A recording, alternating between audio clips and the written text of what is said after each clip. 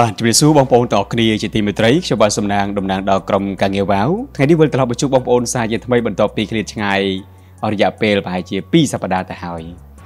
ថ្ងៃនេះខ្ញុំមកផ្ដល់ជូនបងប្អូនអំពីអត្ថបទមួយឬក៏មេរៀនដ៏ពិសេសមួយ ដែលយើងអាចនិយាយថាវា ជាមេរៀនដែលអាចជួយបងប្អូនហើយមេរៀនភាគច្រើនបងប្អូនរៀនបានច្រើនតកតងជាមួយនឹងមេរៀនគីមីវិទ្យារូបវិទ្យាភាសាអង់គ្លេសបាទប៉ុន្តែមេរៀន ដែលអាចជួយបងប្អូនបានច្រើន អាចជាមេរៀនដែលសាមញ្ញតូចធម្មតា បងប្អូនអាចជាបណ្ឌិត អាចជាកវីនិពន្ធអាចជាអ្នកដែលពូកែពូកែជាច្រើនប៉ុន្តែមានពេលខ្លះស្រាប់តែមានមេរៀនដ៏តូចមួយ វាបែរជាអាចជួយរំដោះបងប្អូនបានទៅវិញឬក៏យើងនិយាយថាមានដើមឈើដ៏ធំមួយដើមប៉ុន្តែបែរជាមានស្មៅតូចមួយដែលយើងអាចបានចាប់អារម្មណ៍វាបានផ្ដល់ជាប្រយោជន៍ដ៏អស្ចារ្យទៅកាន់បងប្អូនទាំងអស់គ្នា អញ្ចឹងសម្រាប់បងប្អូនដែលមានការគិតប៉ាប្រហែលនឹងខ្ញុំស្តៀងនឹងខ្ញុំបងប្អូនប្រហែលជាអាចស្ដាប់ខ្ញុំទៅយល់ឬក៏ចូលចិត្តប៉ុន្តែសម្រាប់បងប្អូនដែលមិនចូលចិត្តប្រហែលជាស្ដាប់ទៅមិនយល់ទេបងប្អូនទាំងអស់គ្នា សម្រាប់មនុស្សដែលមិនចង់ស្ងប់មិនចង់រងាប់មិនអាចយកធ្វើបានទេរឿងនេះសាមញ្ញធម្មតាទេបងប្អូនសាមញ្ញសាមញ្ញរហូតដល់អាចនិយាយបានថាមិនដឹងថារោគពាក្យអ្វីមកបញ្យល់ជូនបងប្អូនប៉ុន្តែ គ្រាន់តែប្រាប់បងប្អូនសាកយកទៅអនុវត្តហើយបើសិនជារៀនឲ្យបងប្អូនយល់ហើយយល់បែបណាអូវាមិនមែនជាការបញ្យល់ឲ្យបងប្អូនយល់ទេវាគ្រាន់តែជូនបងប្អូនឲ្យទទួលបានហើយបងប្អូនសង្កេតឬបងប្អូនសាកយកទៅអនុវត្តបានផលអត់បងប្អូនខ្ញុំចម្លែកចិត្តដែរនៅក្នុងមេរៀនមួយនេះអឺជនជាតិឥណ្ឌាគឺជាអ្នកដែលគាត់រនឹកឃើញមុនគេ ហើយក៏ជាអ្នកបង្កើតបាទ ហើយអាចយកទៅអនុវត្តទទួលបានលទ្ធផលហើយមេរៀនដែលខ្ញុំជម្រាបជូនបងប្អូននេះអាចយកទៅសរសេរជាសភៅទៅទៀតអ្នកដែលគាត់យល់ថាវាល្អខ្លាំងនៅប៉ៃអឺរ៉ុបបាទអញ្ចឹងមេរៀននេះវាគឺជាមេរៀនមួយដែលសាមញ្ញធម្មតា ដែលមានចំណងយើងថាសំឡេងមួយ នៅក្នុងខួរក្បាលរបស់អ្នកឬក៏សំឡេងនៅក្នុងខួរក្បាលរបស់បងប្អូនផ្ទាល់បាទ បើសិនជាបងប្អូនអាចចាប់ចំណុចនឹងបាន គឺជាមូលដ្ឋានគ្រឹះសម្រាប់បងប្អូនយកទៅធ្វើការសមាធិសម្រាប់បងប្អូនដែលចង់ស្វែងរកសេចក្តីស្ងប់ស្ងប់ការគិតស្ងប់គំនិតឬក៏ជាមេរៀនមួយទៀតដែលនាំបងប្អូន បាទទៅរកការសន្ទនាមួយបើសិនជាបងប្អូនស្ដាប់យល់ហើយយកទៅអនុវត្តវាមានភាពល្វឹងល្វើយណាស់នៅក្នុងខ្លួនយើង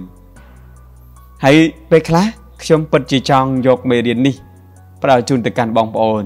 ប៉ុន្តែសូមឲ្យបងប្អូន ចាប់អារម្មណ៍កន្លែងនេះបន្តិចថា មានចំនួនមនុស្សភាគតិចណាស់ដែលគាត់អាចទទួលយកនៅមេរៀនមួយនេះហើយភាគច្រើនគឺអត់ចូលចិត្តទេអញ្ចឹងសម្រាប់បងប្អូនដែលស្ដាប់ទៅហើយមានអារម្មណ៍ថាខ្លួនឯងកំពុងតែចូលនៅលើមេរៀនមួយនេះហើយអបអរសាទរឲ្យខ្លួនឯងពួកភាគច្រើនគឺអត់ចូលចិត្តទេ បាទដោយសារតែមេរៀននេះវាដូចជា លក្ខណៈដូចកូនក្មេងដូចជាសាមញ្ញដូចវាមិនគួរណាយើងមើលរំលងអញ្ចឹងណាបងប្អូនបាទប៉ុន្តែសម្រាប់បងប្អូនដែលបានតាក់ទងមកកាន់ខ្ញុំផ្ទាល់ក្រុមការងារវ៉ាវតាមរយៈលេខ Telegram ហើយមាននៅក្នុងក្រុម Telegram ប្រហែលជាបងប្អូនព្រមបាទពួកបងប្អូនមានចិត្តមានគំនិតប្រហាក់ប្រហែលជាមួយនឹងខ្ញុំនិងក្រុមការងារវ៉ាវហើយ ពីព្រោះមេរៀននេះវាវាសាមញ្ញប៉ុន្តែវាមិនសាមញ្ញតែខ្ញុំបដិជូនបងប្អូនបែបនេះបងប្អូនកំពុងតែឆ្ងល់ថាសាមញ្ញមិនសាមញ្ញយ៉ាងម៉េចទៅបងប្អូនសាមញ្ញតែមិនសាមញ្ញទេបងប្អូនអញ្ចឹងបងប្អូនអាចយកទៅអនុវត្តបានបន្តិចទៀតខ្ញុំនឹងជម្រាបជូនបងប្អូនដើម្បីបងប្អូនកាន់តែច្បាស់ដូច្នេះមុននឹងបងប្អូនចូលទៅដល់មេរៀននេះខ្ញុំសួរបងប្អូនសិនថាបងប្អូនធ្លាប់ឃើញមនុស្សនិយាយម្នាក់ឯងអត់ ហើយយើងឃើញគាត់និយាយម្នាក់ឯងយើងដាក់សំណួរមួយសួរថាបើគាត់និយាយម្នាក់ឯងអាចថាជាមនុស្សមិនប្រក់ក្តីហើយអ្នកណាអ្នកស្ដាប់គាត់និយាយជាមួយអ្នកណាបើយើងភ្នែកយើងទទេមើលទៅឃើញថាគាត់ជាម្នាក់ឯងហើយធម្មតាពេលដែលនិយាយវាគួរតែមានមនុស្សម្នាក់និយាយមនុស្សម្នាក់ស្ដាប់ហើយមនុស្សម្នាក់ទៀតស្ដាប់មនុស្សម្នាក់ទៀតនិយាយអានឹងបានស័ក្តិសម តែដល់ពេលយើងមើលទៅវាអត់ឃើញអ្នកស្ដាប់វាឃើញតែអ្នកនិយាយអញ្ចឹងយើងយើងចាប់ផ្ដើមគិតថាអូមនុស្សនេះចាប់ផ្ដើមមានបញ្ហាណាមួយពីព្រោះឃើញគាត់និយាយឮគាត់និយាយប៉ុន្តែវាអត់បានឃើញអ្នកស្ដាប់ឥឡូវយើងក៏លេចមកមើលខ្លួនយើងវិញយើងកុំមើលទៅកាន់គាត់ណាបាទយើងមើលមកខ្លួនយើងវិញតើយើងអញ្ចឹងមែនអត់អញ្ចឹងយើងមានសិទ្ធិមើលទៅកាន់បរិសម្នាក់ដែលយើងមើលឃើញហ្នឹងអាចថាគាត់ជាមនុស្សសរសៃប្រសាទ ប៉ុន្តែចុះយើងខ្លួនឯងគិតថាមិនដែរសម្រាប់ខ្លួនឯងផ្ទាល់ការពិតពេលដែលគាត់កំពុងនិយាយនោះគឺគាត់មានអ្នកស្ដាប់អ្នកស្ដាប់នោះក៏នៅក្នុងខ្លួនរបស់គាត់នោះគាត់និយាយឆ្លើយឆ្លងតគ្នាទៅមកទៅមកសំឡេងដែលបងប្អូនឮចេញពីមាត់គាត់គឺជាសំឡេងដែលគាត់និយាយនឹងហើយអ្វីមួយទៀតដែលគាត់ខ្លួនឯងជាអ្នកឮនោះគឺជាគាត់មួយទៀតអញ្ចឹង ខ្លួនយើងឬក៏ខ្ញុំសំណាងកំពុងតែនិយាយជាមួយបងប្អូនហ្នឹងណាណាពេលហ្នឹងបងប្អូនកំពុងស្ដាប់ខ្ញុំកំពុងទស្សនារូបភាពវីដេអូរបស់ខ្ញុំប៉ុន្តែខ្ញុំខ្លួនឯងនេះដែលកំពុងនៅនេះគឺខ្ញុំនៅតែម្នាក់ឯងទេប៉ុន្តែខ្ញុំបានឃើញរូបខ្ញុំនៅក្នុងអេក្រង់នៃអឺកាមេរ៉ាអាហ្នឹងអាហ្នឹងករណីយើងថតណាបងប្អូនបាទចុះបើសិនជាករណីយើងអត់ថតហើយគាត់កំពុងតែនិយាយឬក៏ខ្ញុំកំពុងតែនិយាយហើយខ្ញុំអត់ថតហើយខ្ញុំកំពុងនិយាយ អញ្ចឹងក្នុងបទសន្ទនាហ្នឹងគឺខ្ញុំអ្នកនិយាយផងខ្ញុំអ្នកឮផងខ្ញុំអ្នកនិយាយផងខ្ញុំអ្នកឮផងបើយើងកលេចទៅមកផ្លែតនៅពេលដែលឃើញគាត់និយាយឃើញតែរូបគាត់មួយទេប៉ុន្តែបើសិនបើយើងមើលឲ្យជ្រៅជាងភ្នែកធម្មតាទៀតយើងនឹងបានឃើញគាត់ពីរគឺមានអ្នកស្ដាប់មួយមានអ្នកនិយាយមួយហើយអញ្ចឹងយើងចាប់ផ្ដើមសួរថាហើយបើមានអ្នកនិយាយមានអ្នកស្ដាប់អញ្ចឹងបើមិនសិនជាវាកើតឡើង សម្រាប់ខ្ញុំវិញតើខ្ញុំជាអ្នកណាខ្ញុំជាអ្នកនិយាយឬក៏ខ្ញុំជាអ្នកស្ដាប់ឥឡូវបងប្អូនសាកសាកនិយាយសំឡេងចេញមកហើយបងប្អូនសាកគិតមើលថាតើបងប្អូនជាអ្នកនិយាយឬក៏បងប្អូនជាអ្នកស្ដាប់នោះគេហៅថាបទសន្ទនាមួយនៅក្នុងគូក្បាលដែលចំណងជើងនៅក្នុងមេរៀនរបស់អឺរ៉ុបដែលខ្ញុំនឹងជម្រាបជូនបងប្អូននេះបុគ្គលជាច្រើនដែលលោកបានឆ្លងកាត់ គឺយកមេរៀននឹងជាគោលបងប្អូនមេរៀនដែលខ្ញុំកំពុងជម្រាបជូននឹងដូច្នេះមេរៀននេះមានចំណងជើងថាសម្លេងមួយនៅក្នុងគូក្បាលរបស់អ្នកប៉ុន្តែមិនមែនសម្លេងតែមួយទេវាគឺជាបទសន្ទនាឥឡូវបងប្អូនសាកសម្គាល់មើលខ្លួនឯងបាទជីវិតប្រចាំថ្ងៃរបស់បងប្អូន យើងគឺមានបទសន្ទនានៅក្នុងខួរក្បាល មានការសន្ទនាជាប្រចាំឧទាហរណ៍ថាខ្ញុំកំពុងតែដើរដើរទៅក៏ស្រាប់តែជួបជាមួយនឹង បុគ្គលមួយរូបដែលបុគ្គលហ្នឹងខ្ញុំធ្លាប់ទំនាក់ទំនងជាមួយគាត់ឬក៏ធ្លាប់ឃើញគាត់ពីមុនមក10ឆ្នាំ20ឆ្នាំហើយបងប្អូនក៏ស្រាប់តែខ្ញុំឃើញគាត់ខ្ញុំមានអារម្មណ៍ថាគាត់ម្នាក់ហ្នឹងគឺខ្ញុំធ្លាប់ជួបគាត់ប៉ុន្តែមិនដឹងថាគាត់នឹងជាអ្នកណាទេនៅពេលដែលគាត់ដើរមកសម្ដៅជួបយើងអញ្ចឹងយើងចាប់ផ្ដើមមានអារម្មណ៍ថាអូបុគ្គលម្នាក់ហ្នឹងកំពុងទៅដើរមករកខ្ញុំតើនេះហើយ គាត់នឹងប្រហែលជាអាចស្គាល់ខ្ញុំអាហ្នឹងជាបទសន្ទនាឃើញទេបងប្អូនអញ្ចឹងបទសន្ទនានឹងគឺវាកាត់ឡើងនៅក្នុងគូក្បាលរបស់បងប្អូននោះហើយគឺជាបទសន្ទនាដែលយើងនិយាយខ្លួនឯងថាជាការគិតប៉ុន្តែខ្ញុំសុំមិនបញ្ជាក់ថាកន្លែងនេះជាការគិតដែលយើងនិយាយថាជាសំឡេងមួយនៅក្នុងខួរក្បាលរបស់យើង វាកើតឡើងជាមួយនឹងបទសន្ទនាកើតឡើងនៅពេលខ្លះដែលវាកើតឡើងអាចថានៅម្នាក់ឯង ឬក៏ពេលដែលយើងកើតឡើងនៅក្នុងពេលដែលយើងបានកំពុងតែអណ្ដែតអណ្ដូងទៅកន្លែងណាមួយហើយបើយើងអត់បានកត់សម្គាល់ទេបទសន្ទនាមួយនឹងវានឹងបន្តទៅរហូតហើយការសន្ទនានឹងវាចេះបំបីខ្លួននិយាយឲ្យចំសំបីតែយើងនៅក្នុងបន្ទប់ទឹកកំពុងតែងូតទឹកកំពុងដោះថ្មិញកំពុងតែបន្ទោបងហ្នឹងក៏យើងមានបទសន្ទនាមួយដែលវានឹងបន្តកើតឡើង ពីរឿងមួយទៅរឿងមួយពីរឿងមួយទៅរឿងមួយចេះបំបែកបទសន្ទនាហ្នឹងឲ្យទៅជាច្រើនអត់ដែនកំណត់ហើយអត់ឈប់ទេបងប្អូន បាទមនុស្សយើងសាមញ្ញធម្មតាយើងអត់អន់ឲ្យបានចំពោះបទសន្ទនាមួយហ្នឹងហើយកើតអីក៏កើតទៅកុំខ្វល់អីហើយបងប្អូនមួយចំនួនក៏អត់ដឹងអត់ចាប់អារម្មណ៍ថាអានឹងគឺកំពុងតែនិយាយទៀតដោយសារគាត់គិតថាខ្លួនគាត់ម្នាក់គាត់ច្រឡំថាវាគឺជាខ្លួនគាត់ជាអ្នកនិយាយខ្លួនគាត់ជាអ្នកដែលកំពុងតែគិតកំពុងតែសន្ទនា អូយបងឯងប្អូនឯងក្មួយឯងលោកគ្រូឯងខ្ញុំគិតច្រើនណាស់បងប្អូនដែលគាត់តាក់ទងមកខ្ញុំគាត់បានផ្ដល់រឿងច្រើនមែនតែនបងប្អូនមួយចំនួនលោក សម្រានអត់លក់ទេពេលយប់គិតច្រើនរហូតដល់ថ្នាក់គេអត់លក់ការពិតវាមិនមែនជាការគិតទេវាជាសម្លេងនៃបទសន្ទនាមួយ ដែលវាកើតឡើងជាប្រចាំនៅក្នុងខ្លួនយើង ហើយមិនមែនជាយើងទៀតមិនមែនជាបងប្អូនទេឥឡូវបងប្អូនបងប្អូនស្រែកឆ្លោះជាមួយខ្លួនឯង ថាបិទមាត់ឈប់និយាយខ្ញុំឈប់ស្ដាប់ហើយខ្ញុំត្រូវការគេងខ្ញុំត្រូវការសម្រាកបាទល្មមល្មមបានហើយកុំមកជជែកចរចាអីក្នុងចិត្តអាហ្នឹងក៏ជាសម្លេងដែលកើតចេញពីរឿងនឹងដដែលដូច្នេះបងប្អូនកិច្ចអត់ផុតទេហើយបងប្អូនមួយចំនួនគាត់បានអត់អោនឲ្យចំពោះសម្លេងមួយនេះចំពោះសម្លេងហ្នឹងគាត់អត់អោនឲ្យបានប៉ុន្តែមនុស្សដែលគាត់ស្វែងរកនៅសេចក្តីស្ងប់ មនុស្សដែលស្វែងរកសេរីភាពមនុស្សដែលចង់ស្វែងរកដួងព្រលឹងមនុស្សចង់ស្វែងរកដែលគេហៅថា awareness consciousness មនុស្សដែលចង់សម្រេចនៅការសមាធិគាត់អត់អត់អន់ឲ្យទេមិនអត់អន់ឲ្យទេបាទមិនអត់អន់ឲ្យចំពោះសម្លេងនឹងនោះឡើយបាទយើងអត់អន់ឲ្យបាន យើងធម្មតាយើងអត់អន់ឲ្យបានក៏ប៉ុន្តែសម្លេងនឹងវាផ្កើនបងប្អូនសម្លេងនឹងផ្កើនមែនតើនៅពេលដែលយើងអត់អត់ឲ្យវាវានឹងបន្ត ជាប្រចាំ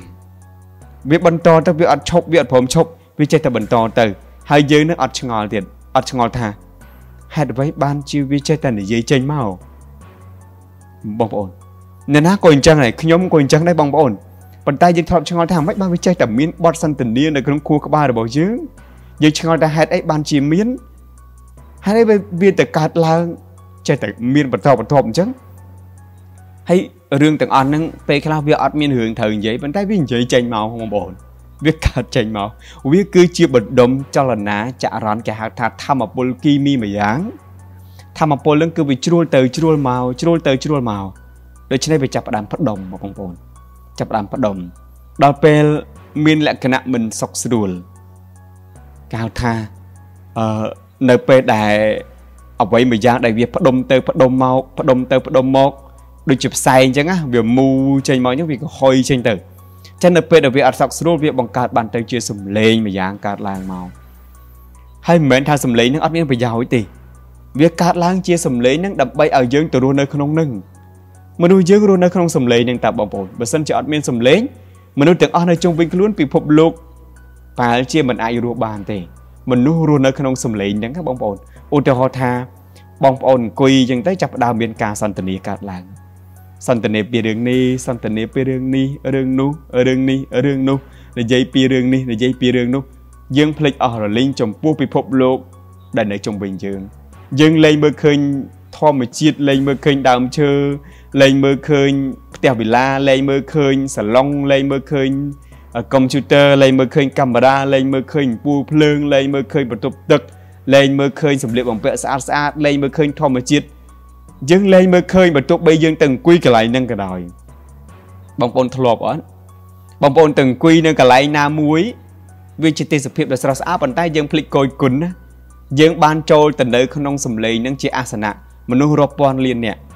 ហើយបើអត់មានអាហ្នឹងគឺគាត់រស់អត់បានទេព្រោះគាត់ស៊ាំជាមួយនឹងការរស់នៅ មនុស្សរស់នៅក្នុងចំណុចហ្នឹងបាទបងប្អូនឃើញមនុស្សរស់នៅក្នុងផ្ទះពេលខ្លះអត់មានអ្នកណារស់នៅក្នុងផ្ទះទេ អត់នៅក្នុងផ្ទះអត់នៅតាមផ្លូវអត់នៅក្នុងវិឡាទេទោះបីជាគាត់នៅក្នុងបន្ទប់ទឹកអាងទឹកលេងទឹកសមុទ្រមានមានពេលខ្លះគឺគាត់ស្ថិតនៅក្នុងកិច្ចសន្ទនារបស់គាត់ហើយនៅខ្លះមើលឃើញទឹកមួយផ្លែតរៀងស្រួលខ្លួនមួយផ្លែតចឹងទៅ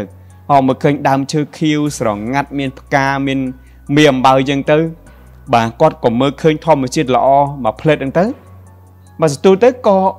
លេងស្អាតលេងសរសើរឲ្យបងប្អូនបាទខ្ញុំធ្លាប់ ជួបជាមួយនឹងអឺបងប្អូនដែលគាត់ធ្លាប់ឆ្លងកាត់វគ្គសិក្សារុករកខ្លួនឯងហ្នឹងសួរគាត់ថាបងបងបានឃើញអីពេលហ្នឹង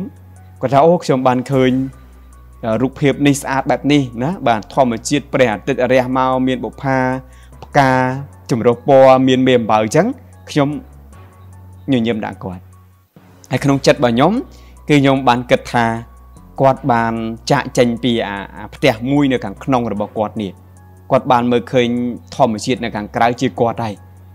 អញ្ចឹងនៅពេលនោះដែលយើងចាក់ចេញពីអាផ្ទះសំឡេងមួយហ្នឹងវាធ្វើឲ្យជីវិតរបស់គាត់ស្រស់ស្រាយមួយខណៈហ្នឹងតែចាក់ស្រួលខ្លួនមកផ្លែតហ្នឹងអស់តែពេលហ្នឹងមិនបន្តិចទៅខ្ញុំសង្កេតឃើញគាត់ចាប់ផ្ដើមប្រែទឹកមុខទៀតដែរគាត់កំពុងតែស្ថិតនៅក្នុងស្ថានភាពដដែលកន្លែងដដែល ប៉ុន្តែគាត់ចាប់ផ្ដើមប្រែនៅស្ថានភាពមុខគាត់បាត់ដោយសារអីរូបរាងកាយរបស់គាត់ភ្នែករបស់គាត់ដៃជើងរបស់គាត់កំពុងតែស្ថិតនៅក្នុងធម្មជាតិមួយនឹងប៉ុន្តែនោះសតិអារម្មណ៍របស់គាត់នោះវាបានចូលទៅកាន់ផ្ទះមួយរបស់គាត់បាត់ហើយគាត់នឹកឃើញអីគេនឹកឃើញអីនឹកឃើញអីសពបែបយ៉ាងទាំងអស់ដែលវាមិនមែនជា ខ្លួនគាត់កំពុងតែនៅកន្លែងដែលគាត់កំពុងនៅអញ្ចឹងមុខគាត់ចាប់ផ្ដើមប្រែប្រួលសពពសពូន លែងលែងរីករាយពន្លឺដែលគាត់ចាំងចែងមកផ្លេតមិញដែលខ្ញុំសួរគាត់ហ្នឹងចាប់ផ្ដើមអន់ពន្លឺបន្តិចម្ដងបន្តិចម្ដងស្បែកគាត់ចាប់ផ្ដើមស្រអាប់ផ្ទៃមុខគាត់ចាប់ផ្ដើមខ្មៅជាងមុនបាទទឹកមុខគាត់ភ្នែកគាត់ចាប់ផ្ដើមល្អក់ជាងមុនសក់គាត់ចាប់ផ្ដើមលែងភាពស្រស់ស្អាតជាងមុនវាទៅអញ្ចឹងណាអញ្ចឹងកន្លែងនេះខ្ញុំជជែកជាមួយមិត្តភ័ក្តិពេលខ្លះខ្ញុំជជែកជាមួយនឹងបងប្អូនដែលគាត់ទំនាក់ទំនងមកខ្ញុំផ្ទាល់គាត់ ពិបាកទ្រាំពិបាកយល់កន្លែងហ្នឹងគាត់អត់យល់ហើយនៅពេលដែលខ្ញុំជម្រាបជូនគាត់អំពីចំណុចហ្នឹងសួរថាតើបងប្អូនឬក៏ប្អូនឬក៏បងធ្លាប់ឆ្លងកាត់កន្លែងហ្នឹងទេអារម្មណ៍ចិត្តគំនិតរបស់គាត់វាស៊ាំជាមួយនឹងការរស់នៅរបស់គាត់នឹងសម្លេងហ្នឹងបច្ចុប្បន្នគាត់អាយុ25 30 40 50ហើយអញ្ចឹង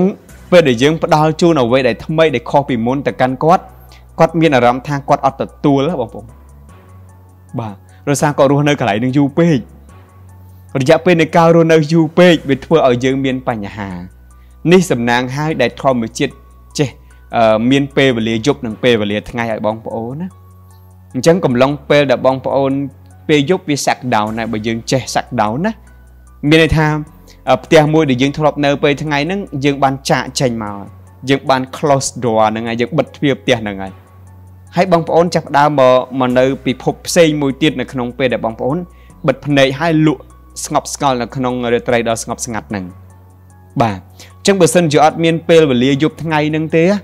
ប្រហែលជាមនុស្សអាចនឹងមានបញ្ហាវិកលចរិតឬក៏ប្រស័យប្រសាទទូទាំងពិភពលោក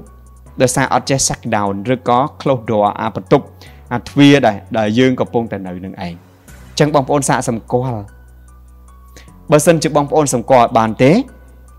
ឡូវខ្ញុំលើកទឹកចិត្តឲ្យបងប្អូនសាកប្រើពាក្យមួយ ពាក្យថាជំរាបសួរជំរាបសួរជំរាបសួរបងប្អូននិយាយលឺមកឬក៏ពាក្យភាសាអង់គ្លេសថា hello hello hello បាទក្រោយពេលបងប្អូនពោលពាក្យថា hello ហ្នឹងហើយបងប្អូនស្រែកទៀតតែបងប្អូនបិទភ្នែកហើយបងប្អូនស្រែក hello នៅក្នុងខួរក្បាលកុំឲ្យចេញសំឡេងយើងបិទភ្នែកសន្សឹមសឹមទៅហើយយើងចាប់ផ្ដើមថា hello hello hello បងប្អូននឹងឮសូរសំឡេង hello hello នៅក្នុងខួរក្បាលដោយយើងមិនបានបញ្ចេញសំឡេងមកទេអញ្ចឹងយើងសាកសម្គាល់មើលបងប្អូនទាំងអស់គ្នាប្រសិនបើយើងចាប់អារម្មណ៍បងប្អូនអាចសម្គាល់មើលឃើញ ថាយើងពិតជាមាន2មែនមែនទេបាទដែលយើងមិនចាំបាច់ប្រើសំឡេង តែយើងបានលឺសំឡេងនៅក្នុងពេលដែលយើងមិនបានពោលសំឡេងតាមរយៈមាត់ឬក៏អណ្ដាតរបស់យើងឬក៏ ក្រឡើតដែលយើងក្រលាស់អណ្ដាតឲ្យចេញជាសំឡេងរលកបំពងសំឡេងចេញមកតែយើងបានចលឺដែរអញ្ចឹងមានន័យថាម៉េចបងប្អូនមានន័យថាអ្នកដែលស្ដាប់នឹងមិនមែនជាយើងមែនទេអញ្ចឹងបើយើងបានចាប់អារម្មណ៍កន្លែងនេះយើងអាចបំបែកវាឲ្យចេញជាពីរបានណាអញ្ចឹងមានន័យថាបងប្អូនចាប់ផ្ដើមចូលដំណើរផ្លូវរបស់កម្ពុជាមនុស្សហើយនៅពេលដែលបងប្អូនយល់ថាសំឡេងនៃការនិយាយវាគឺជាយន្តការនៃការសន្ទនាមួយ ដែលវាពិតជាដើរទៅដោយស្វ័យប្រវត្តិឲ្យតែបងប្អូនចាប់ផ្ដើមយល់ចំណុចនេះជាកន្លែងសំខាន់ពេលដែលបងប្អូនយល់ថាយន្តការនៃការកើតជាសំឡេង ដែលកំពុងដើរវាគឺជាយន្តការមួយដែលដើរដោយស្វ័យប្រវត្តិមិនមែនខ្ញុំទេមិនមែនខ្ញុំអ្នកនិយាយទេបងប្អូនមិនមែនជាអ្នកនិយាយទេខ្ញុំបញ្ជាក់ឡើងវិញយើងមិនមែនជាអ្នកនិយាយទេអត់ទេបងប្អូន យើងគឺជាអ្នកស្ដាប់ អ្នកដែលឮគឺជាយើងឲ្យតែបងប្អូនចាប់ដើម យល់ពីយន្តការនៃការនិយាយគឺជាយន្តការមួយ ជាម៉ាស៊ីនមួយ ជាប្រអប់ម៉ាស៊ីនមួយ ដែលវាដើរដោយស្វ័យប្រវត្តិដោយធម្មជាតិដាក់មកឲ្យយើងដើម្បីឲ្យយើងទៅរស់នៅក្នុងចំណុចនេះនៅពេលដែលយើងដឹងថាវាមិនមែនជាខ្ញុំទេការសន្ទនានឹងមិនមែនជាខ្ញុំទេអញ្ចឹងគឺមានន័យថាយើង គឺបើកចិត្តមួយ ដែលគ្រាន់តែជាអ្នកស្ដាប់ហើយយកសម្លេងហ្នឹងលែងយកមកធ្វើជាខ្លួន បងប្អូនរួចហើយបងប្អូនរួចហើយ បងប្អូនធ្លាប់ឮគេនិយាយថាដួងព្រលឹងអត់ធ្លាប់អត់បងប្អូនគេនិយាយថា consciousness ធ្លាប់ឮគេពោលថា awareness វាគឺជាសភាពនៃដួងព្រលឹងមួយយ៉ាងដែលខ្ញុំតែងតែលើកពាក្យថាដួងប្រលឹងជារឿយរឿយកន្លងមកដួងប្រលឹងគឺអ្នកដែលស្ដាប់ឮសូរសំឡេងអ្នកណាក៏ដោយ ដែលមិនទទួលយកសំឡេងមួយនេះ វាគឺជាខ្លួនហើយមកធ្វើជាខ្លួនឯងជាអ្នកស្ដាប់នៅសំឡេងមួយនេះ ថយឲ្យផុតពីសំឡេងហ្នឹងណានៅពេលដែលយើងថយផុតពីសំឡេងយើងនឹងរួចគឺសាមញ្ញមែនទែនបងប្អូនក្នុងកំឡុងពេលដែលយើងថយរួចពីសំឡេង យើងរួចនៅគេហៅថាអឺការរំដោះដូច្នេះបងប្អូនចាប់ផ្ដើមថយមួយជំហានពីរជំហានថយចេញពីសំឡេងហ្នឹងមកឲ្យវានិយាយចាស់កុំខាត់កុំស្រែកកុំឲ្យវាបិទដល់ពេលដល់ម៉ោងកុំប្រកែក ឧទាហរណ៍ថាបងប្អូនដល់ពេលត្រូវគេងអញ្ចឹងបងប្អូនប្រឆាំងជាមួយវាថាកុំមាត់ឈប់មាត់ឈប់គិតបាទបងប្អូនគ្រាន់តែធ្វើខ្លួនជាអ្នកស្ដាប់ហើយកុំយកវាមកធ្វើជាខ្លួនឯងនៅពេលនោះសំឡេងវាចាប់ផ្ដើមដើរបញ្ហាសំខាន់ដែលមនុស្សធ្វើនឹងអត់បានចំណុចនេះអត់បានដែលធ្វើអត់ទាន់បានពីព្រោះយើងនៅគៀកពេកវាคล้ายជាមិត្តដែលយើងទុកចិត្តណាបងប្អូនដែលយើងយល់ថាសំឡេងនោះគឺជាយើងទៅហើយ ក្នុងកំឡុងពេលដែលយើងនិយាយនឹងយើងគិតថាយើងជាអ្នកគិតថាអូខ្ញុំខ្ញុំអីខ្ញុំគិតច្រើនណាស់ខ្ញុំគិតមួយថ្ងៃមួយថ្ងៃមួយយប់មួយយប់មួយយប់គេអត់លក់ទេមកគេងលក់នៅម៉ោង5ម៉ោង5ចាប់ដើមគេងគេងរហូតដល់ម៉ោង2ម៉ោង3ល្ងាចអីបែបអញ្ចឹងក៏មានដែរអញ្ចឹងពេលយប់គេអត់លក់ទេដោយសារអីក្នុងពេលដែលយប់ស្ងាត់ហ្នឹងសកម្មភាពទាំងឡាយរបស់មនុស្សរបស់សត្វគឺត្រូវបានចូលនិន្ទ្រា អញ្ចឹងយើងនេះអាកិច្ចសន្តានារបស់យើងដែលនៅខាងក្នុងខ្លួនឯងដែលយើងតែងតែសន្មត់ថាជាយើងហ្នឹងវាចាប់ផ្ដើមចេញមកធ្វើឲ្យគេអត់លក់អញ្ចឹងយើងកុំយល់ថាជាយើងដោយសារតែយើងយល់ថាជាយើងយើងនៅគៀកខ្លាំងយើងអត់បានដឹងថាជាថាថាមិនមែនជាយើងយើងច្រឡំថាជាយើងអញ្ចឹងយើងថយក្រោយយើងថយពីជំហាន3ជំហានចេញមកហើយយើងទុកអ្នកដែលកំពុងនិយាយនឹងឲ្យនៅកន្លែងណាមួយនឹងទៅ នៅពេលនោះដល់ពេលដែលគាត់គិតយើងចាប់ផ្ដើមមើលឃើញថាអ្នកដែលគិតកំពុងតែបង្កើតនៅកិច្ចសន្តានាមួយនឹង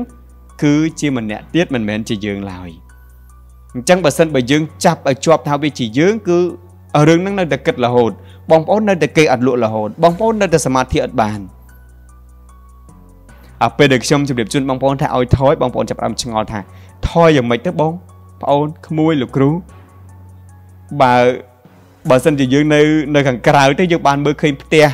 មើលឃើញអីចឹងទៅយើងអាចថយចេញពីផ្ទះហ្នឹងមកចុះឥឡូវខ្ញុំថយមិនយើងចាប់ផ្ដើមសង្កេតហើយយើងចាប់ផ្ដើមយល់ហើយយើងចាប់ផ្ដើមដឹងថាសំឡេងមួយនោះគឺវាដើរដោយស្វ័យប្រវត្តិហើយมันអាចទប់វាបានទេអញ្ចឹងអ្វីទៅដែលយើងត្រូវធ្វើយើងមិនត្រូវអត់ឱនមិនត្រូវសន្តោសឲ្យសំឡេងហ្នឹងថាជាយើងទេ សំឡេងហ្នឹងពេលខ្លះវានិយាយរឿងល្អដែរទេវាមិនមែនអាក្រក់ទាំងអស់ឯណាវាមានរឿងល្អគិតពីផែនការការងារគិតពីអនាគតគិតពីគោលដៅដែលខ្ញុំជម្រាបជូនបងប្អូនថាវាគឺជាក្តីសម័យមួយរឿងហ្នឹងវាល្អល្អច្រើនណាស់រឿងហ្នឹងវាល្អប៉ុន្តែ យើងត្រូវគិតថានេះវាជាដល់ពេលវេលាដែលខ្ញុំមិនបានគិតលើរឿងហ្នឹងទេអញ្ចឹងយើងចាប់ផ្ដើមបងប្អូនគាត់ចាប់ផ្ដើមសួរខ្ញុំវិញថាប្អូនសំណាងក្មួយសំណាងលោកគ្រូសំណាងមានប្រសាសន៍ថា អាការដែលសន្តានាជាមួយខ្លួនឯងហ្នឹងវាគឺជារូបរាងមួយទៀតដែលកំពុងតែឆ្លោះប្រកែកគ្នាប្រឆាំងគ្នាចុះអ្វីទៅដែលខ្ញុំកំពុងតែចង់ឲ្យវាទៅជារូបភាពអនាគតរបស់ខ្ញុំណាលោកគ្រូអញ្ចឹងពេលនោះខ្ញុំកំពុងសន្តានាកន្លែងហ្នឹងដល់ពេលហើយដល់ពេលដល់ពេលដែលបងប្អូនទៅប្រើវាឲ្យចេញជារូបភាពអញ្ចឹងបងប្អូនប្រើវាមកចុះហេតុអីពេលខាងដើមខ្ញុំខ្ញុំជម្រាបជូនបងប្អូនថាកុំឲ្យប្រើ មិនមែនមិនឲ្យប្រើទេតែបងប្អូនដឹងថាអានឹងវាមិនមែនជាបងប្អូនទេ ហើយវាគឺដំណើរការបែបហ្នឹងវាទៅជានិរន្តរ៍ហើយវាទៅជាអូតូម៉ាទិកអូតូម៉ាទិកលីហ្មងបងប្អូនវាអត់មានអាចថាយើងបិទបានណាប៉ុន្តែពេលណាដែលយើងបិទបានវាពិតជាងាយបំផុតងាយកន្លែងណា នៅពេលដែលបងប្អូនដឹងថាវានោះគឺជាវាមិនមែនជាយើងអញ្ចឹងពេលដែលបងប្អូនចែកវាដាច់បងប្អូនឈប់និយាយថាខ្ញុំគិតច្រើនទៀតហើយ ដល់ពេលបងប្អូនឈប់គិតថាខ្ញុំគិតច្រើន ការគិតច្រើនវានឹងថយទៅដោយខ្លួនឯងហើយនៅពេលដែលវាថយទៅដោយខ្លួនឯងបងប្អូនពិតជានៅជាមួយបងប្អូនយ៉ាងពិតប្រាកដហេបងប្អូនហើយនៅពេលដែលខ្ញុំកំពុងតែនិយាយហ្នឹងគឺខ្ញុំកំពុងតែប្រើគាត់ឲ្យនិយាយកំពុងសន្ទនាជាមួយបងប្អូនកំពុងជជែកជាមួយបងប្អូនគឺខ្ញុំកំពុងតែផ្ដល់ឲ្យបងប្អូន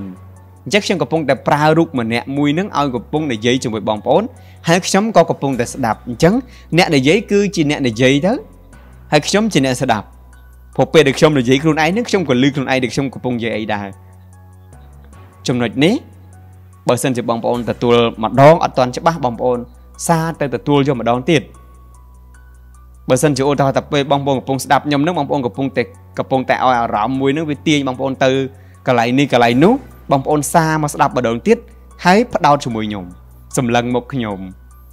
សម្លឹងមុខខ្ញុំញញឹមហ្នឹងណាសម្លឹងមុខខ្ញុំមកមើលពីបបោមាត់របស់ខ្ញុំកំពុងតែនិយាយហ្នឹងមកនឹងកន្លែងនេះហើយដែលធ្វើឲ្យបងប្អូនចាប់ផ្ដើមនៅជាមួយខ្ញុំច្បាស់បងប្អូន ប្រសិនបើបងប្អូនទាំងអស់គ្នាមិនឲ្យបងប្អូនបែងចែកបែបនេះទេ បងប្អូនទៅនៅក្នុងសម្លេងមួយនោះ បងប្អូនគេងនៅក្នុងបន្ទប់ដែលបើកម៉ាស៊ីនត្រជាក់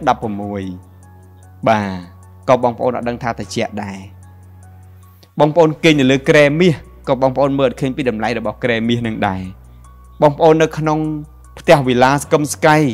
ក៏បងប្អូននៅអត់សុខដែរបងប្អូនមានអ្វីអ្វីគ្រប់យ៉ាងអស់ហើយតាមក្តីសម័យតាមគោលបំណងដែលបានកំងទៅកាន់ចក្រវាលវាបានមកហើយណាក៏បងប្អូននៅអត់សុខដែរ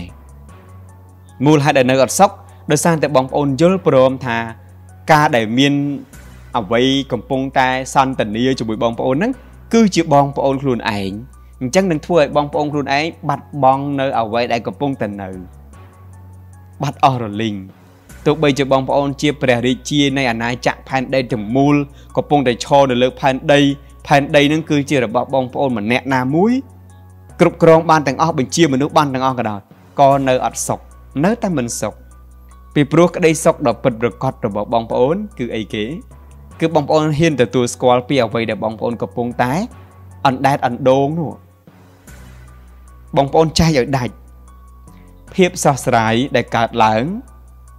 មានពេលខ្លះបងប្អូននៅនឹងផ្ទះបងប្អូនយូរច្រើននេះបងប្អូនចង់ទៅលេងខ្ញុំចង់ទៅលេងខេត្តសៀមរាបខ្ញុំចង់ទៅលេងកំពង់សោមដើម្បីឲ្យផ្ទាំងទស្សនីយភាពនឹងវាដិតដាមកជាមួយនឹង រឿងដែលប្លែកថ្មីខុសពីពេលដែលខ្ញុំកំពុងនៅផ្ទះអញ្ចឹងកន្លែងហ្នឹងបងប្អូនគ្រាន់តែចង់ឲ្យភ្នែករបស់បងប្អូននឹងមើលឃើញអ្វីដែលថ្មីដើម្បីកុំឲ្យអារម្មណ៍ចិត្តគំនិតដែលបងប្អូននិយាយថាខ្ញុំគិតច្រើនអីច្រើនហ្នឹងណាវាកើតឡើងតទៅទៀតតែបើសិនជាបងប្អូននៅតែក្នុងអាមួយនឹងដដែលទោះបីបងប្អូនទៅដល់ខេត្តសៀមរាបទៅដល់កំពង់សោមទៅដល់សិង្ហបុរីទៅដល់សហរដ្ឋអាមេរិកទៅដល់កូរ៉េក៏បងប្អូននៅតែនៅក្នុងនឹងដដែល ឃើញទេបងប្អូនអញ្ចឹងពិបាកប៉ុន្តែបើសិនបើបងប្អូនចេះឆ្នៃហើយចេះដកអានឹងចេញបាន បងប្អូនអត់ចាំបាច់ទៅកំពង់សោមភ្លាមទេកុំអត់តន់ទៅយើងនៅតែទៅអញ្ចឹងប៉ុន្តែខណៈពេលហ្នឹងយើងយើងកុំតន់ទៅក៏បានដែរបងប្អូនគ្រាន់តែចូលទៅអង្គុយនៅកន្លែងណាមួយលើសាឡុងឬក៏អង្គុយក្រោមដើមឈើដែលស្រស់ស្អាតដែរមិនមានការរំខានណាកុំឲ្យមានមូសខំកុំឲ្យមាន សត្វល្អិតអីតិចអីចឹងទៅបងប្អូនអង្គុយឲ្យស្រួលទៅប្រឡែងសំឡេងហ្នឹងឲ្យវាដើរតែវាទៅយើងឈប់យើងឈប់នឹកឈប់យកសំឡេងមកធ្វើជាខ្លួនយើងយើងចេញពីអាផ្ទះមួយហ្នឹងនៅពេលនោះបងប្អូននឹងបានឃើញថា ដើមឈើមួយដើមហ្នឹងស្រស់ប៉ុណ្ណាសំឡេងបាក់សាសំឡេងបាក់សៃដែលនៅលើទុំមេឃឈើកំពុងតែស្រែកច្រៀងនោះព្រោះប៉ុណ្ណាក្លិនខ្យល់ដែលបែបធម្មជាតិបក់ចូលមកកាន់រាងកាយបងប្អូនហ្នឹងវាត្រជាក់ ស្រាប់ប៉ុណ្ណានៅពេលដែលបងប្អូនធ្វើបានអនុវត្តបាន មួយចិត្តដែលបងប្អូនរស់នៅនេះគឺពិតជាមានក្តីសុខបំផុតពិតជាមានធម៌ពលបំផុតចឹងបងប្អូនចំណាយពេលបន្តិចបាទអាចនិយាយបានថា បងប្អូនគួរតែចំណាយពេលខ្លះដើម្បីសង្កេតមើលចម្លែងតើសង្កេតមើលសម្លេងរបស់យើងនឹងវាមានបែបណាមែនបងប្អូន នៅពេលដែលយើងសម្គាល់ទើបយើងដឹងថាអូសម្លេងនឹងនិយាយច្រើនមែនហើយនៅពេលដែលបងប្អូនអង្គុយសមាធិបងប្អូនចាប់អារម្មណ៍ប៉ុន្តែអ្វីដែលខ្ញុំជម្រាបជូនបងប្អូននេះកន្លែងណាក៏បានដែរមិនចាំសមាធិក៏បានដែរឲ្យតែបងប្អូនដឹងបងប្អូនសាកសាកលបងគិតមើលបើសិនជាបងប្អូនធ្វើដំណើរអូដល់ខ្ញុំធ្វើដំណើរតាមរថយន្តបាទពីភ្នំពេញទៅតាមខេត្តផ្សេងផ្សេងអញ្ចឹងណាជាពិសេសនៅពេលដែលយើងធ្វើដំណើរម្នាក់ឯងយើងបើកឡានម្នាក់ឯងពេលនោះយើងនឹងបានឃើញថា ការសន្ទនារបស់យើងចាប់ផ្ដើមមើលតាមរូបភាពនឹងឃើញអានេះឃើញអានោះឃើញបែបណាបែបណីបាទឃើញផ្ទះឃើញរូបភាពអីហ្នឹងចាប់ផ្ដើមចេញមកបាទសំឡេងនឹងអញ្ចឹងចាប់ដើមពោលអ៊ូអស្រាប់តែចៃដន្យនេះឃើញសត្វពាហនៈឆ្លងផ្លូវអញ្ចឹងផ្ដើមនឹកឃើញដល់ម្ចាស់សត្វពាហនៈនឹងបណ្ដោយអីចឹងទៅចាប់ដើមវែងឆ្ងាយទៅអត់មើលឃើញក្មេងរត់កាត់ផ្លូវក៏នឹកឃើញដល់ឪពុកម្ដាយអាណាព្យាបាលបណ្ដោយកូន ឃើញយុវជនគាត់ជិះម៉ូតូច្រើនឆ្វេងឆ្វាយពេញផ្លូវយើងមើលឃើញចាប់ដើមទៅគិតថាយុវជនសម័យបែបនេះបែបនោះវាចាប់ដើមចេះកើតឡើងណាបងប្អូនបាទជិះទៅឃើញបងប្អូនគាត់ឃើញស្តុបក្រហមហើយនៅតែមិនឈប់នៅតែទៅទៀតអចាប់ដើមគិតទៀតវាជាការគិតរបស់យើងអញ្ចឹងបងប្អូននឹងចាប់ឃើញកន្លែងហ្នឹងគ្រាន់តែចង់ឲ្យបងប្អូនចាប់ឃើញថាអូអានឹងវាជាខ្លួនខ្ញុំមួយទៀតហើយខ្ញុំដឹងខ្លួនឯងហើយ នៅពេលដែលបងប្អូនស្ដាប់ខ្ញុំអញ្ចឹងហើយបងប្អូនសង្កេត សង្កេតខ្លួនឯងឲ្យតែសង្កេតឲ្យតែបងប្អូនសង្កេតសិនបានហើយវាអត់ពិបាកទេវាងាយស្រួលទេសង្កេតតែប៉ុណ្ណឹងមកបទសន្ទនាមួយនឹងវានឹងកើតឡើងជាប្រចាំដូច្នេះចាប់ផ្ដើមសម្គាល់មើលការសន្ទនានឹងបាទវាជាសំឡេងនៅក្នុងខួរក្បាលរបស់យើងទេមិនមែនជាយើងឯណាព្រោះពេលនោះបើយើងនៅម្នាក់ឯងយើងអត់មានបញ្ចេញសំឡេងតាមបបោមាត់យើងទេ អញ្ចឹងតែសំឡេងយើងលឺនៅតែលឺណែតដងទៅអញ្ចឹងបងប្អូនកុំអត់អោនកុំអត់អោនទេសោះកន្លែងហ្នឹងគ្រាន់តែចាប់ផ្ដើមគិតមកបងប្អូនចាប់វឹបអូអានេះកំពុងគិតអូអានេះមិនមែនជាខ្ញុំទេអញ្ចឹងនេះហើយជាការសាងនិស័យបានប៉ុណ្ណឹងសិនមកបានប៉ុណ្ណឹងសិនសាមញ្ញបំផុត វាអាចនឹងនាំបងប្អូនទៅរកការត្រាស់ដឹងអឺពេលដែលខ្ញុំប្រើពាក្យតែការត្រាស់ដឹងបងប្អូនចាប់ផ្ដើមនឹកឃើញដល់ ព្រះពុទ្ធនឹកឃើញដល់ព្រះអរហន្តនឹកឃើញដល់អីផ្សេងផ្សេងការត្រាស់ដឹងនឹងខ្ញុំអត់សំដៅលើរឿងនឹងតែម្យ៉ាងទេបងប្អូនកុំច្រឡំថា ការត្រាស់ដឹងនឹងគឺបែបណាបែបណាដែលបងប្អូនគិតកន្លងទៅ ដែលនឹកគិតថាអូយអ្នកត្រាស់ដឹងគេព្រះអង្គខំសាងបារមីរាប់រយរាប់ពាន់កាប់មកហើយបងអូនឯងមកនិយាយគ្រាន់តែប៉ុណ្ណឹងអាចត្រាស់ដឹងបានបងអូននោះគឺជាជំនឿរបស់បងប្អូនទៅតាមព្រះគម្ពីរ ទៅតាមគម្ពីរប្រត្រៃបិដកអីផ្សេងផ្សេងដែលបងប្អូនបានសិក្សារៀនសូត្រតែអ្វីដែលខ្ញុំពាក្យថាត្រាស់ដឹងដែលខ្ញុំនិយាយមួយឃ្លានេះខ្ញុំចង់សម្ដៅលើបងប្អូនដឹងថាខ្លួនឯងជាអ្នកណាបងប្អូនត្រាស់ឲ្យដឹងថាខ្លួនឯងជាអ្នកណានៅពេលដែលបងប្អូនគិតបងប្អូនចាប់ដើមដឹងថាអូការគិតហ្នឹងមិនមែនខ្ញុំអ្នកគិតទេបងប្អូននៅពេលដែលបងប្អូនខំបំភ្លេចអ្នកណាម្នាក់បងប្អូនរត់តែខំបំភ្លេចបងប្អូនរត់តែនឹកឃើញភ្លេចកាន់តែខ្លាំងនឹកឃើញកាន់តែខ្លាំង អាមិនអញ្ចឹងលោកគ្រូអាមិនអញ្ចឹងបងប្អូនខំខ្ញុំខំអង្គុយពេនភ្នែនតាមបែបអាណាបានុសតិជើងស្ដាំពុតដាក់លើជើងឆ្វេងដៃស្ដាំដាក់លើដៃឆ្វេងដង្ហើមខ្ញុំដកក៏ដឹងចូលក៏ដឹងចេញក៏ដឹងដឹងគ្រប់ពេលប៉ុន្តែខ្ញុំព្យាយាមបំភ្លេចមនុស្សម្នាក់នោះស្រាប់តែមុខមនុស្សម្នាក់នោះវាដែតនៅមុខខ្ញុំចិត្តឡើងចិត្តឡើងអញ្ចឹងខ្ញុំចង់ឲ្យបងប្អូនជ្រាបថា កាលណាបើបងប្អូន កាន់តែបំភ្លេច គឺកាន់តែនៅនឹងមុខបងប្អូននឹងឯងអញ្ចឹងវិធីសាស្ត្រគឺគ្រាន់តែបងប្អូនដឹងថាម្នាក់នឹងបុគ្គលនឹងគឺយើងអត់បានចូលចិត្តគាត់អត់បានត្រូវការគាត់ទេអញ្ចឹងយូរយូរនឹងភ្លេចដល់ឯងហើយអញ្ចឹងកន្លែងនេះរីឯបងប្អូនដែលបានគិតចិត្តរបស់បងប្អូននឹងក៏ដូចគ្នាដែរពិភពលោកនេះគឺពិតជាស្រស់ស្អាតណាស់ឲ្យតែបងប្អូនចេញពីផ្ទះសំឡេងនឹងមកហើយបងប្អូនចាប់វាបានមកថា កុំអត់អោនឲ្យវាកុំអត់អោនដោយដោយសារអីកុំអត់អោនឲ្យដឹងថាអូអានេះគឺជាមនុស្សម្នាក់ទៀតនៅក្នុងខ្លួនខ្ញុំប៉ុន្តែខ្ញុំនៅតែបញ្ជាក់ជូនបងប្អូនថាសំឡេងហ្នឹងគឺមានប្រយោជន៍មិនមែនអត់ប្រយោជន៍ទេពិភពលោកហ្នឹងគឺអភិវឌ្ឍបានមកដល់រងថ្ងៃដោយសារសំឡេងហ្នឹងដែរប៉ុន្តែយើងត្រូវដឹងថាសំឡេងហ្នឹងពេលណាគួរឲ្យមាន ពេលណាមិនគួរឲ្យមានដល់ពេលខ្ញុំប្រើពាក្យថាមិនគួរឲ្យមានហ្នឹងស្មើនឹងការបំភ្លេចហើយ ដល់ពេលស្មើនឹងការបំភ្លេចបងប្អូនហិតតែនឹកទៀតអញ្ចឹងអាចនិយាយបានថាយើងចេះចាត់ចែងពេលឲ្យគាត់ហើយគ្រាន់តែយើងដឹងរលឹកមកធម្មជាតិបង្កើតសម្លេងនឹងមកដើម្បីអភិវឌ្ឍមនុស្សលោកដើម្បីដើម្បីឲ្យពិភពលោកនឹងមានអ្វីកែប្រែខុសពីធម្មជាតិធម្មតាមានន័យថាពិភពលោកពីមុនយើងដឹងហើយធម្មជាតិយើងរស់នៅក្នុងរូងភ្នំយើងរស់នៅក្នុងលអាងយើងទទួលទានចំណីអាហារតាមរយៈការ ពេលខ្លះញ៉ាំឆៅឬក៏ដុតអាំងអីតាមការវិវត្តប៉ុន្តែផែនដីនឹងពិភពលោកនឹងចក្រវាលនឹងបានបង្កើតមនុស្សម្នាក់ទៀតនៅក្នុងខ្លួនយើងគឺសំឡេងនឹង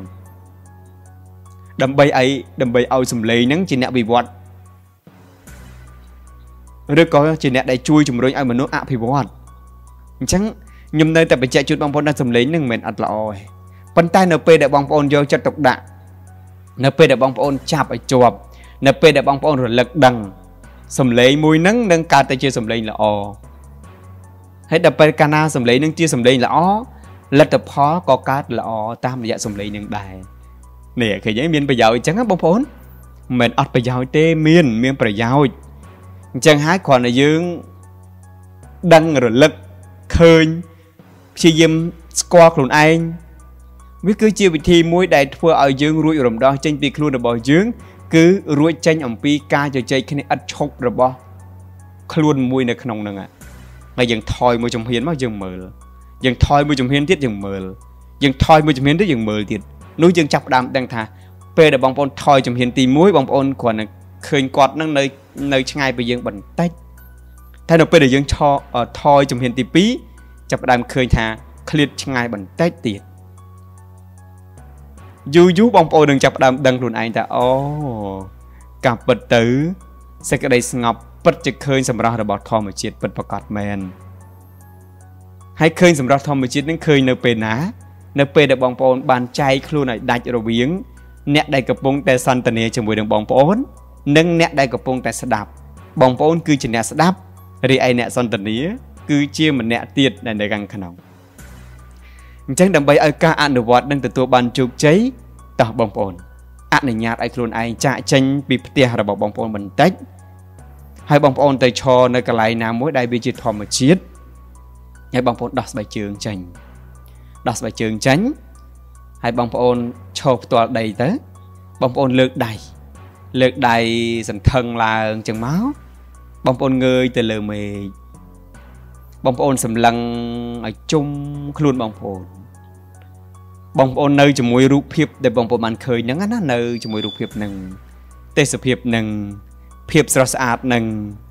ខ្យល់បក់រសៀករសៀកហ្នឹងសំឡេងខ្យល់បក់ប៉ះស្លឹកឈើហ្នឹងបើពេលថ្ងៃបងប្អូនលឺអីខ្លះឃើញអីខ្លះបើពេលយប់បងប្អូនឃើញអីខ្លះលឺអីខ្លះដូច្នេះ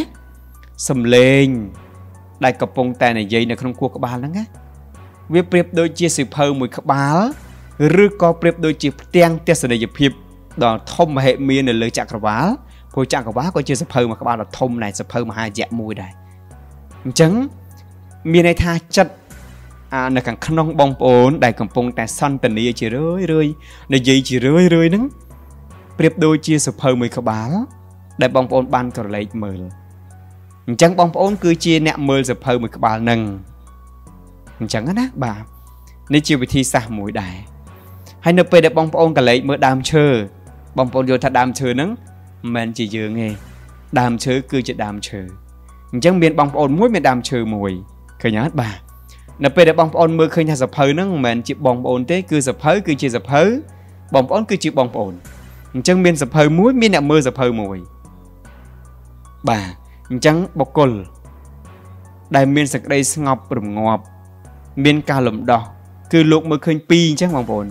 មើលឃើញសម្លេងហ្នឹងគឺជាវត្ថុមួយ មើលឃើញលោកគឺជាអ្នកមើលឃើញសម្លេងជាវត្ថុមើលឃើញពីរដូច្នេះវាមិនរលាយចូលគ្នាតែមួយដូចយើងធ្លាប់តែមានការគិតថាខ្ញុំគិតខ្ញុំគិតច្រើនណាបងអើយខ្ញុំគិតច្រើនណាលោកគ្រូអើយអញ្ចឹងពេលហ្នឹងលែងហ่ะលែងប្រើពាក្យហ្នឹងហ่ะបាទអញ្ចឹងពិភពលោកមួយនេះ ពិតជាស្រស់ស្អាតមែនអញ្ចឹងកន្លែងនេះខ្ញុំសូមជម្រាបជូនបងប្អូនថា ចំណុចនេះ មានអ្នកដែលទទួលបាន គឺមានកម្រិតតូចទាបតិចភាគរយណាស់អញ្ចឹងបើសិនជាករណីបងប្អូនទាំងអស់គ្នាទទួលខ្ញុំបានហើយសម្លេងខ្ញុំទទួលយកទៅហើយ មានចំណុចណាដែលបងប្អូនរៀងរកើចិត្តរៀងខ្នើសចិត្តរង្គៀសណាមួយ ក៏សូមបងប្អូនថែរក្សានៅចិត្តមួយនោះឲ្យបានល្អបន្តិចពីព្រោះនោះមិនមែនជាបងប្អូនទេ នោះវាគឺជាកិច្ចសន្ទនារបស់បុគ្គលម្នាក់ទៀតមកកាន់បងប្អូនអញ្ចឹងបងប្អូនបើកបេះដូងបើកចិត្តសាកគិតមិនបន្តិចទៀតដើម្បីឲ្យបងប្អូនអាចទទួលយកមេរៀននេះបានចុះហេតុអីទៅបានជាសំណាង ចង់ឲ្យបងចង់ឲ្យប្អូនចង់ឲ្យក្មួយ ឬក៏ចង់ឲ្យអ៊ំពូមីងលោកតាលោកយាយទាំងអស់ទទួលយកមេរៀនមួយនេះបានពួកបងប្អូនអត់ទទួលក៏មេរៀននេះមាននៅក្នុងជីវិតបងប្អូនដែរมันអាចកិច្ចបានទេ បងប្អូនកិច្ចតាណាក៏កិច្ចឲ្យរួចដែរលុះត្រាតែបងប្អូនបែកកាយរំលាយកាយចាក់ចេញពីផែនដីនេះទៅវាទៅជាធម្មពលមួយអាហ្នឹងបងប្អូនចាប់ផ្ដើមខ្លាយជាធម្មពលហើយ អញ្ចឹងធម្មតាពាក្យធម្មពលវាទៅបែបណាយើងយើងអត់អាចសន្មត់បានទេវារលាយទៅវាទៅជាណាមួយបែបណាមួយក៏យើងអត់អាចទៅសន្មត់បានដែរតែគ្រាន់តែចង់ឲ្យបងប្អូនដឹងថាបើយើងមានរូបកាយគឺច្បាប់មួយនេះ នៅជាមួយបងប្អូនជានិរន្តរ៍នៅពេលដែលខ្ញុំជម្រាបជូនបងប្អូនបែបនេះបងប្អូនចាប់ផ្ដើមមានសំណួរសួរត្រឡប់មកវិញទៀតថាខ្ញុំរងថ្ងៃនេះកំពុងតែឆ្លោះជាមួយខ្លួនឯងបង ឬក៏ក្មួយប្អូនឬក៏លោកគ្រូកំពុងឆ្លោះជាមួយខ្លួនឯងរាល់ថ្ងៃនេះតតាំងប្រឆាំងច្បាំងគ្នាដូចកាប់ដាវក្នុងរឿងបុរាណខ្មែរអញ្ចឹងមានលំពេងមានដាវចាក់គ្នាទៅវិញទៅមកកាប់គ្នាទៅវិញទៅមកអាកកគ្នាទៅវិញទៅមកវាដូចជាសាហាវពេកហើយលំបាកពេកហើយក្នុងការទប់ទល់ក្នុងការច្បាំងជាមួយនឹងខ្លួនឯងនេះពិបាកជាងច្បាំងជាមួយអ្នកដតីនៅខាងក្រៅទៀត មនុស្សម្នាក់ទៀតពេលដែលយើងប្រើសារសម្លេងទៅកាន់គាត់ដូចជាករណីបងប្អូនកំពុងតាមដានទស្សនាវីដេអូរបស់ខ្ញុំបាទសំណាងក្រុមការងារវ៉ាវបងប្អូនស្ដាប់ឮខ្ញុំបងប្អូនអាចនឹងទទួលបងប្អូនមាននិស័យបងប្អូននឹងទទួលបងប្អូនស្ដាប់ស្ដាប់ទៅចែកដន់ចំក៏ចូលចិត្តក៏ស្ដាប់ស្រឡាញ់ចូលចិត្តទាំងសំឡេងចូលចិត្តទាំងការរៀបចំបែបណាមួយឬក៏ការសន្ទនារបស់ខ្ញុំទៅកាន់បងប្អូន អានឹងដោយសារខ្ញុំជារូបម្នាក់ហើយបងប្អូនជារូបម្នាក់ទៀតតែនៅពេលដែលបងប្អូនអត់បានឃើញខ្លួនឯងជាខ្លួនឯងបងប្អូនពិតជាលំបាកសន្តានាតោះបងប្អូនទៅឈរមុខកញ្ចក់ទៅអង្គុយមុខកញ្ចក់ចឹងបងប្អូនបានឃើញបងប្អូនម្នាក់នៅក្នុងកញ្ចក់មួយទៀតប៉ុន្តែបងប្អូនកលែងទៅមើលឃើញថាឃើញរូបម្នាក់នៅក្នុងកញ្ចក់ប៉ុន្តែមើលឃើញខ្លួនឯងអាបច្ចុប្បន្ននេះអាចថា ពិបាកមើលប៉ុន្តែនៅក្នុងកញ្ចក់មើលឃើញច្បាស់ជាងអញ្ចឹងរូបដែលនៅក្នុងកញ្ចក់ហ្នឹងណាបងប្អូនវាប្រៀបបីដូចជារូបដែលនៅក្នុងមួយទៀតរបស់បងប្អូនដែលកំពុងសន្ទនាជាមួយបងប្អូនអញ្ចឹងដែរច្បាស់ជាងណាហេតុអីបើខ្ញុំហ៊ានសន្និដ្ឋានតែច្បាស់ជាងបងប្អូនសាកយកគំនិតរបស់បងប្អូនគិតថយក្រោយបន្តិចបងប្អូនបានដឹងថាច្បាស់មែន ពីព្រោះកន្លងទៅគ្រាន់តែបងប្អូនក្រោកពីសម្រានឡើងក្រោកពីការទទួលទានដំណេកឡើងគឺចាប់ផ្ដើមសន្ទនាជាមួយបងប្អូនមកហើយបែបនេះបែបនោះបែបនេះបែបនោះច្រើនមែនតែនឡើងកកគោកដីបើមិនតែយើងយើងមានរង្វាស់រង្វាល់យើងអាចវាស់បានវិញណាឬក៏កជាកំណោវិញកំណោនៃការសន្ទនាបែបនៅខាងក្នុងរបស់យើងហ្នឹងណាបងប្អូនច្រើនជាងបងប្អូនពិតប្រកបទៅទៀតនិយាយមែនជាពិសេសនៅម្នាក់ឯង នៅម្នាក់ឯងហ្នឹងគឺដឹងតែមកហើយដឹងតែមកហើយមកច្រើនណាស់ហោហៀហោហែមកហើយអញ្ចឹងក៏ក៏នៅតែមានបងប្អូនកំពុងតែលំបាកទៀតដែលពេលដែលខ្ញុំផ្ដល់ជូនមេរៀនជាច្រើនកន្លងមកតាំងពីការសមាធិបើកចក្រាពីការសមាធិបែបអនាបានុសតិបែបព្រះពុទ្ធសាសនានិងការទទួលយកនៅ ការកំងទៅកាន់ចក្រវាលតាមច្បាប់កំងជឿទទួល មានរឿងជាច្រើនដែលបងប្អូនបានផ្ដល់មកកាន់ខ្ញុំខ្ញុំពិតជាអរគុណខ្លាំងប៉ុន្តែវានៅតែមានការរាំងស្ទះវានៅតែម្ដងម្ដងវានៅតែពិបាកនៅពេលដែលនៅម្នាក់ឯងវានៅតែមានអារម្មណ៍ធុញថប់វានៅតែកើតឡើងក្នុងស្ថានភាពណាមួយនៅពេលដែលជាងអត់ដឹងខ្លួនហើយវាវាយលុកមកសាហាវដូចបាញ់ព្រួញស្រោចដូចទឹកភ្លៀងអញ្ចឹងហើយព្រួញនោះលាបលូនទៅដោយថ្នាំពឹសទៅទៀត ចាក់ចំតាណាអាលេះអាលួយទៅនឹងឈឺចាប់ទៅនឹងអញ្ចឹងកន្លែងហ្នឹងមូលហេតុអីដោយសារតែបងប្អូនអត់ដឹងថាខ្លួនឯងជាអ្នកណា បងប្អូនរកខ្លួនឯងអត់ទាន់ឃើញហើយការរកខ្លួនឯងអត់ទាន់ឃើញនេះណាបងប្អូនមិនមែនសម្រាប់តែយុវវ័យត្រឹមអាយុ20ចុះក្រោមទេ ចាប់ពី20ឡើង30 40 60បើសិនជាបងប្អូនមិនព្រមរកខ្លួនឯង ប្រកាសជាត្រឡប់ទៅកាន់ភពវិញមួយផ្សេងទៀតទាំងមិនដឹងតែខ្លួនជានរណាដដែលដូច្នេះហើយបានជាក្រុមការងារវ៉ាវមានវគ្គពិសេសមួយជូនបងប្អូនគឺវគ្គរុករកខ្លួនឯងហើយខ្ញុំពិតជាកោតសរសើរដល់បងប្អូនយើងដែលគាត់អត់ទាន់ដឹងការបរិច្ឆេទសម្រាប់វគ្គថ្មីនេះថ្ងៃទីប្រហែលដល់ឡើយទេប៉ុន្តែបងលុយមុនណាស់ហើយហើយ បានច្រើនរូបដែរដែលគាត់បងលុយទុកឲ្យហើយចឹងឥឡូវក្រុមការងារកំពុងតែរៀបចំពេលវេលាដើម្បីផ្ដល់ជូនបងប្អូននៅវគ្គរុករកខ្លួនឯងនេះមានបងប្អូនផ្ដល់ជា feedback ជាច្រើនដែលខ្ញុំអត់ទាន់មានពេលកាត់សារសម្លេងនោះជូនបងប្អូនខ្ញុំនឹងព្យាយាមឲ្យក្រុមការងារជួយ កាត់សារសម្លេងដើម្បីជូនបងប្អូនឲ្យបានដឹងបាទថាវគ្គរុករកខ្លួនឯងនេះបែបណាហើយវគ្គនេះបើសិនជាខ្ញុំអត្ថាធិប្បាយជូនបងប្អូនអត់អាចកើត អត់អាចកើតតែម្ដងមិនមែនមានន័យថាខ្ញុំចង់បានលុយបងប្អូននៅខាងក្រៅឲ្យបងប្អូនឲ្យលុយមកក្រុមការងារដើម្បីបានប្រាក់ចំណេញនេះមិនមែនទេអាអានេះវាជាចំណែកមួយឯងធម្មតាបងប្អូនបើខ្ញុំថាមិនមែនក៏បងប្អូនមិនជឿដែរព្រោះបានលុយមកវាជាការទប់ទល់នឹងការចំណាយនៅក្នុងវគ្គហ្នឹងណាប៉ុន្តែអ្វីដែលសំខាន់អត់អាចផ្ដល់ជូនបងប្អូនបានតាមរយៈសម្លេងនិងរូបភាពដែលខ្ញុំផលិតជា content ដាក់ក្នុង channel YouTube នឹងបានកើតទេលកឹកណាបងប្អូនអញ្ជើញយកខ្លួនឯងទៅអនុវត្ត ទើបបងប្អូនដឹងថាប្រសិទ្ធភាពកម្រិតណាហើយបងប្អូននឹងនឹងនឹងនឹងដឹងថាខ្លួនឯងនឹងអ្វីដែលខ្ញុំបានសន្ទនានឹងជម្រាបជូនបងប្អូនពីខាងដើមមកថាទទួលបានវីដេអូពីលោកគ្រូហើយស្ដាប់លោកគ្រូហើយស្ដាប់ប្អូនហើយស្ដាប់ក្មួយហើយប៉ុន្តែវានៅតែមានពេលខ្លះវាពិបាកមែនតើហើយបងប្អូនគាត់ក៏បានផ្ដល់មកថាពេលដែលខ្ញុំអត់បានស្ដាប់លោកគ្រូមួយថ្ងៃខ្ញុំចាប់ផ្ដើមត្រឡប់ទៅវិញតែហ្នឹងហើយបងប្អូនកន្លែងហ្នឹងហើយដែលខ្ញុំ តែងតែលើកទឹកចិត្តបងប្អូនថានៅពេលដែលបងប្អូនស្ដាប់សារសម្លេងរបស់ខ្ញុំហើយទស្សនាវីដេអូរបស់ក្រុមការងារវ៉ាវហើយសូមឲ្យជាបងប្អូនប៉ុន្តែពិបាកធ្វើណាបងប្អូនឯងខ្ញុំខ្លួនឯងក៏ដូចគ្នាដែរពីមុនមកខ្ញុំក៏ដូចបងប្អូនអញ្ចឹងដែរលំបាកណាបងប្អូនពិបាកទ្រាំណាស់ហើយរឿងនេះមិនមែនកើតឡើងសម្រាប់តែបងប្អូនដែលថាលោកគ្រូដោយសារខ្ញុំរៀនបានតិចដោយសារខ្ញុំមិនសូវទទួលបាន ការរួមចំណែកដែលចេះដឹងអីច្រើនទេអញ្ចឹងហើយបានពិបាកមិនមែនទេបងប្អូនមិនមែនរឿងហ្នឹងទេរឿងនេះគឺមិនមែនរឿងហ្នឹងហ្មងហ៊ានហ៊ានធានាអញ្ចឹងហ្មងមូលហេតុដែលខ្ញុំហ៊ានធានាដោយសារតែបងបងដែលគាត់តាក់ទងមកខ្ញុំបងបងបានបញ្ចប់ថ្នាក់បណ្ឌិតហើយបណ្ឌិតនៅប្រទេសក្រៅទៅទៀតប៉ុន្តែគាត់នៅតែជាប់អានឹងដដែលគាត់នៅតែជាប់អញ្ចឹងមានន័យថាម៉េចកន្លែងនេះ គ្រាន់តែបងប្អូនឆ្កឹះកន្លឹះតែបន្តិចហើយបងប្អូនទៅរកខ្លួនឯងឲ្យឃើញតែបន្តិចនោះមហាសាលនៃអតិពលធម្មពលទ្រព្យសម្បត្តិនឹងកើតឡើងហើយបងប្អូនក៏សួរមកខ្ញុំទៀតថាលោកគ្រូហើយនៅពេលដែលខ្ញុំចូលទៅរៀនវគ្គរុករកខ្លួនឯងហ្នឹងរៀនចប់ហើយខ្ញុំដឹងឲ្យជោគជ័យហ្មងហើយលោកគ្រូហើយវាអត់ខុសអីពីរឿងនិទានខ្មែរយើង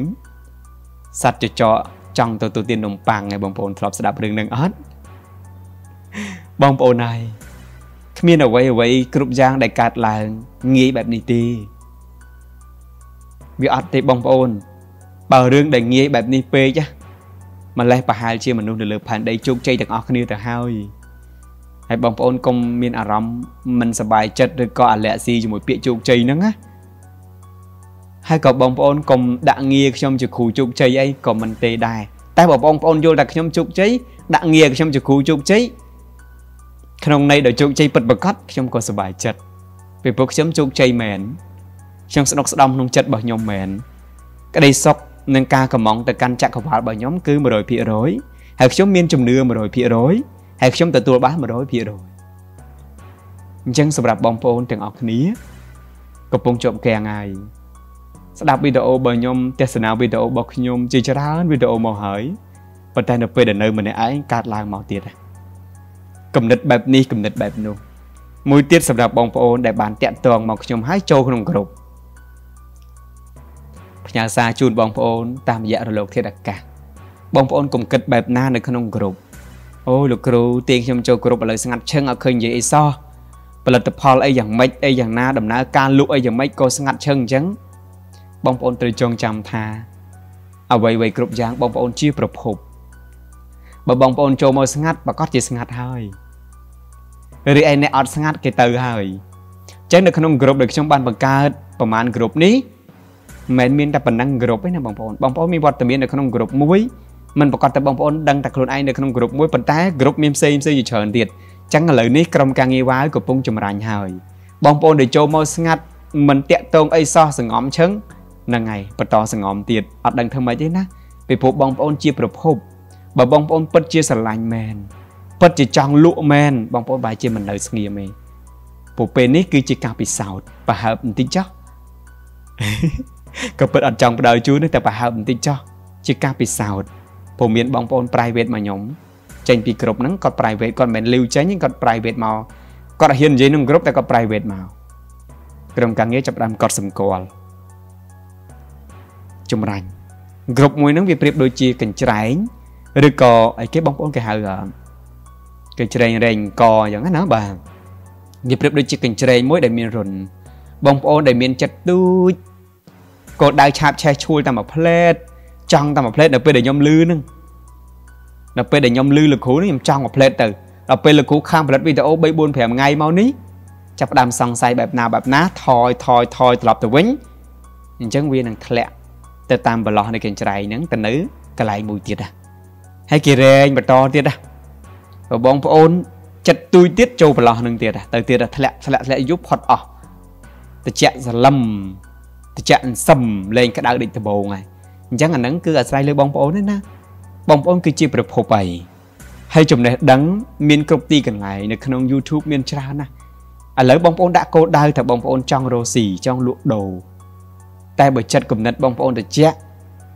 ហើយអត់ព្រមទៅសិក្សាស្រាវជ្រាវស្វែងយល់អង្គុយចាំតែខ្ញុំអ្នកបង្រៀនតែម្ដងអានឹងគឺបងប្អូនបាត់បង់ឱកាសហើយរំលេចជូនបន្តិចកន្លែងនេះអញ្ចឹងត្រឡប់មកវិញជូនបងប្អូននៅវគ្គបន្ទាប់នៅក្នុងវីដេអូដដែលនេះខ្ញុំនឹងជម្រាបជូនបងប្អូនអំពីនិមិត្តសញ្ញាទាំង7ដែលចក្រវាលផ្ដល់មកកាន់បងប្អូនឲ្យបងប្អូនដឹងថាតើចក្រវាលកំពុងផ្ដល់តម្រុយអ្វីមកកាន់បងប្អូន កំពុងតែផ្ដល់បែបណាមកកាន់បងប្អូនបងប្អូនចាប់ផ្ដើមសម្គាល់ថាអូចក្រវាលកំពុងសន្ទនាជាមួយខ្ញុំចក្រវាលកំពុងតែផ្ដល់ធម៌ពលជាកូនរបស់ចក្រវាលមកកាន់ខ្ញុំក្នុងនាមចក្រវាលជាមេដាជាបិតារបស់ខ្ញុំហើយបងប្អូនទទួលបានហើយតើបងប្អូនគួរឆ្នៃបែបណាបងប្អូនពេជ្រគឺជាការផ្ដល់ឲ្យពីចក្រវាលតាមកកាន់មនុស្សពេជ្របងប្អូនពេជ្រក៏ប៉ុន្តែពេជ្រដែលមិនទាន់ឆ្នៃ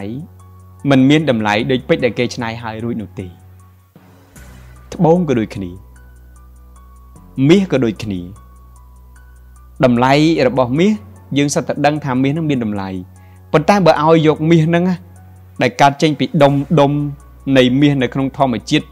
បងប្អូនយកទៅណាបងប្អូនយកទៅណាគឺមាសហ្នឹងគេយកទៅច្នៃជាឧបករណ៍គ្រឿងអលង្ការពាក់លម្អកាយបានវាមានតម្លៃ បើគ្រាន់តែជាមាសធម្មតាមួយដុំពីរដុំដឹងតែមាសយកទៅលក់បានលុយដឹងថាអ្នកដែលគាត់ទិញយើងគាត់យកទៅណាគឺគាត់យកទៅច្នៃរីឯពេជ្រចរណៃក៏ដូចគ្នាក៏ត្រូវការច្នៃរីឯបងប្អូនក៏ដូចគ្នាដែរនៅពេលដែលចក្រវាលផ្ដល់ឲ្យបើខ្ញុំក្រុមការងារវ៉ាវរួមសហការជាមួយនឹងក្រុមហ៊ុន Eligo បានបង្កើតនៅវគ្គពិសេសមួយគឺវគ្គរុករកខ្លួនឯង មានលោកគ្រូអ្នកគ្រូដែលលោកជាគ្រូប្រវត្តិរួមទាំងខ្ញុំក៏ទៅចូលរួមជាមួយបងប្អូនដែរនោះទោះបីជាខ្ញុំខំផ្ដាល់ឲ្យខ្ញុំប្រៀបដូចជាចក្រវាលមួយទៅចុះនៅបងប្អូនណបាទឧទាហរណ៍អញ្ចឹងណាថាចក្រវាលបានបញ្ជូនខ្ញុំមកជួបបងប្អូនចុះហើយខ្ញុំផ្ដាល់ជូនបងប្អូនរួចហើយចក្រវាលឲ្យហើយប៉ុន្តែបើបងប្អូនបានលទ្ធផលហើយបានលក្ខណៈពិសេសមួយនេះហើយប៉ុន្តែបងប្អូនអត់ព្រមឆ្នៃ យកពេជ្រទៅទុកក្នុងទូ បានអីមានតម្លៃបើអត់ឆ្នៃផងអត់ស្អាតផងនឹងអត់ចាំងផងនឹងអត់មានពលឺទេបងប្អូនហើយចឹងបងប្អូនយកទៅឆ្នៃខ្លួនឯងរុករកខ្លួនឯងឃើញហើយ ដឹងតែខ្លួនឯងនឹងជាអ្នកណាហើយច្បាស់ក្នុងចិត្តហើយធម្មពលមានពេញខ្លួនហើយយកទៅប្រើប្រាស់ទៅថែរក្សាឲ្យធម្មពលដែលមានចេញពីវគ្គមួយនេះ បង្កើតបានទៅជាលុយ បង្កើតបានទៅជាធម្មពល បង្កើតបានទៅជាផ្ទះវិឡាសពបែបយ៉ាងទាំងអស់នោះបងប្អូននឹងដឹងខ្លួនឯងថាអូបានផលមែនចំណាយលុយប៉ុណ្ណឹងទៅអត់ស្ដាយទេចំណាយពេលវេលាប៉ុណ្ណឹងទៅអត់ស្ដាយទេព្រោះបានលុយមកមែនបានពិតប្រកបមែនបានច្បាស់ច្បាស់មែនគួរជាទីមនោរមមែននេះកន្លែងនេះពិសេសបងប្អូនឃើញអត់ចឹងខ្ញុំនៅតែលើកទឹកចិត្តបងប្អូន នៅតែផ្ដល់ឲ្យបងប្អូនដដែលបើបងប្អូនមានលទ្ធភាពក៏ទៅអញ្ជើញទទួលយកទៅប៉ុន្តែសម្រាប់ខ្ញុំបងប្អូនប្រហែលជា បានតាមដានទស្សនាវីដេអូរបស់ខ្ញុំបានសំណាងក្នុង Channel YouTube ក្រុមការងារវ៉ាវច្រើនហើយបងប្អូនកំងទៅកាន់ចក្រវាលណាបងប្អូនណាកំងទៅកាន់ចក្រវាលហើយកុំខ្លាចតាក់ទងមកខ្ញុំតាក់ទងមកសួរព័ត៌មានមកពីរឿងរៀននឹងក្តីពីរឿងចង់ខ្លាយជាដៃគូផ្នែកលក់ជាមួយនឹងក្រុមហ៊ុនដោយមិនកាត់ស្តុកផលិតផលក្តី ក៏កុំគិតបែបណាចំពោះខ្ញុំកុំគិតថាអូយលោកគ្រូខ្ញុំអត់ទាន់មានលុយទេតែខ្ញុំអត់ហ៊ានតាក់ទងទៅលោកគ្រូទេខ្លាចលោកគ្រូគិតបែបណាបែបណាសុទ្ធតែជាការគិតជំនួសខ្ញុំទេពេលដែលបងប្អូនទំនាក់ទំនងមកសួរព័ត៌មានពីខ្ញុំស្មើនឹងបងប្អូនបានជឿតែបងប្អូនពិតជាបានចូលរួមមែនពីព្រោះបងប្អូនបានកំងទៅកាន់ចក្រវាលហើយថាបងប្អូននឹងមកទទួលយកវគ្គរុករកខ្លួនឯងនេះមួយវគ្គដើម្បីស្គាល់ខ្លួនឯងឲ្យច្បាស់អញ្ចឹងពេលបងប្អូនកំងទៅកាន់ចក្រវាលហើយតាក់ទងមកខ្ញុំមកការដែលបងប្អូនតាក់ទងមកខ្ញុំសួរព័ត៌មានពីខ្ញុំ ស្មើនឹងបងប្អូនជឿថាចក្រវាលនឹងផ្ដល់ឲ្យបងប្អូនពីព្រោះអីបងប្អូនដឹងហើយថាខ្ញុំគឺជាចំណែកនៃចក្រវាលដែលបានជំរុញខ្ញុំឲ្យជួបបងប្អូនអញ្ចឹងនេះហើយគឺជាទំនាក់ទំនងរបស់បងប្អូនជាមួយនឹងចក្រវាលបន្តិចទៀតខ្ញុំនឹងជម្រាបជូនបងប្អូនអំពីហេតុការណ៍មួយចំនួនដែលបងប្អូនអាចកត់សម្គាល់បានថាចក្រវាលពិតជាផ្ដល់ជូនទំនាក់ទំនងជាមួយបងប្អូនមែនតែខ្ញុំផ្ដល់ជូនបងប្អូនត្រឹម7ចំណុចសិនចាំមើលពេលវេលាជាក់ស្ដែងណា ក៏ពិតទាំងអស់មានលើសពី7ប៉ុន្តែផ្ដល់ជូន7សិនទៅវីដេអូក្រោយចាំរំលេចជូនបងប្អូនបន្ថែមទៀតទុកឲ្យបងប្អូនតាមដានទុកឲ្យបងប្អូនតាមដានបន្តទៀតផងដែរអញ្ចឹងអ្វីៗគ្រប់យ៉ាងបងប្អូនហើយគឺវាសុទ្ធតែកើតឡើងមានហេតុនិងមានបច្ច័យមានហេតុនិងមានផលការដែលបងប្អូនទទួលបាននៅបទពិសោធន៍ជីវិតកន្លងទៅ បងប្អូនក៏បានចែករំលែកមកកាន់ខ្ញុំដូចគ្នា ខ្ញុំក៏ទទួលបាននៅសារសម្លេងពីបងប្អូនត្រឡប់មកវិញពិតជាមានមោទនភាពខ្លាំងមែនទែនហើយមោទនភាពនោះគឺនៅពេលដែលបងប្អូនទទួលបានសារសម្លេងរបស់ខ្ញុំទៅ បងប្អូនប្រាប់ខ្ញុំមកវិញថារឿងរ៉ាវទាំងឡាយដែលលោកគ្រូបានលើកឡើងនៅមានប្រសាសន៍គឺខ្ញុំបានធ្វើរួចអស់ទៅហើយបានអនុវត្តរួចទៅហើយតែគ្រាន់តែខ្ញុំអត់ដឹងថាកលឹះមួយហ្នឹងវាបែបហ្នឹងការពិតទៅកលឹះហ្នឹងនៅក្នុងដៃខ្ញុំទេលោកគ្រូ នៅក្នុងដៃខ្ញុំរហូតមកជារឿយរឿយទៅហើយប៉ុន្តែខ្ញុំអត់ដឹងក៏ស្រាប់តែលោកគ្រូលើកឡើងឬក៏ប្អូនក្មួយលើកឡើងមកកលឹះនេះបន្តិចមកស្រាប់តែវារបូតកលឹះនឹងមកខ្ញុំហាក់បីដូចជាធូរស្បើយមែនតែនបងអូនហើយធូរស្បើយណាស់កន្លងទៅតឹងតែងធុញថប់តប់រមល់ជាពិសេសនៅពេលដែលកំងទៅកាន់ចក្រវាលហើយការងារធំធំមួយចំនួនរបស់ខ្ញុំបងប្អូនហើយក្មួយហើយលោកគ្រូហើយ វាត្រូវជិះជន់ញោមញីវេទនាមែនតែនរហូតដល់ខ្ញុំអស់ជំនឿលើចក្រវាលនៅពេលដែលអស់ជំនឿលើចក្រវាលស្មើនឹងបងប្អូនបាត់បង់ការផ្ដាល់ឲ្យពីចក្រវាលមកហើយពីព្រោះច្បាប់របស់ចក្រវាលផ្ដាល់ឲ្យបងប្អូនមានចំណាមានចំនួន3ចំណុចមែនអត់បងប្អូនកំងជឿទទួលលើកទឹកចិត្តបងប្អូនដល់គ្នាសូមឲ្យបងប្អូនចេញទៅអង្គុយខាងក្រៅផ្ទះរបស់បងប្អូនបន្តិច បងប្អូនដាក់រឹងគេងក្រៅផ្ទះប៉ៅអ៊ីឬទៅស្រួលពប៉ៅអ៊ីយើងអត់ចាំបាច់រកកន្លែងចងដេញរឹងទេហើយបងប្អូនគេងហើយបងប្អូនសម្លឹងទៅលើមេឃបងប្អូនគិតមើលថា លំហមេឃដ៏ធំល្វឹងល្វើយហ្នឹងណាមានកម្លាំងពិសេសអ្វីមួយយ៉ាងឯងបងប្អូន បងប្អូនសម័យសម័យមើលថា នៅ ក្នុងលំហមេឃដែលធំធំមែនទែនបាទឬក៏ផែនដីទាំងមូលរបស់យើងនេះឬក៏ នៅធម្មជាតិដែលយើងឈរក្បែរហ្នឹងវាមានកម្លាំងអ្វីមួយយ៉ាងបងប្អូនវាពិតជាមានកម្លាំងអ្វីមួយយ៉ាងដែលកម្លាំងអ្វីមួយយ៉ាងហ្នឹងគឺកំពុងតែជជែកមកដល់បងប្អូនការពិតគឺជាធម្មពលទេមិនមែនជាទេវតាមិនមែនជាអតិទេពអីទេយើងយើងកុំអត់តន់គិតដល់ទេវតាឬអតិទេពអីយើងគ្រាន់តែគិតថាវាគឺជាធម្មពលដែលកំពុងតែព្យាយាមនិយាយមកកាន់យើងព្យាយាមណែនាំយើង តែកម្លាំងនឹងអត់អាចមានកឡោតអណ្ដាតមាត់និយាយជាសម្លេងបានទេគ្រាន់តែប្រើវិធីសាស្ត្រមួយចំនួនដើម្បីផ្ដល់ជូនមកកាន់យើងឲ្យយើងបានទទួលឲ្យយើងបានដឹងជាធម្មតាយើងតែងតែលងលក់នៅក្នុងរឿងអីមួយខ្ញុំលងលក់នៅក្នុងរឿងអីមួយសភាពនៃការលងលក់របស់យើងហ្នឹងបងប្អូនវាមិនមែនជាបំណងវាមិនមែនជាប្រាថ្នារបស់ចក្រវាលដែលនឹងបញ្ជូនយើងមកកាន់ផែនដីទេ ព្រោះចក្រវាលមុននឹងបញ្ជូនយើងមកកាន់ផែនដីគឺមានបំណងមួយប៉ុន្តែនៅពេលដែលបងប្អូនចុះមកកាន់ផែនដី យើងលងលក់នៅក្នុងរឿងអ្វីមួយយ៉ាង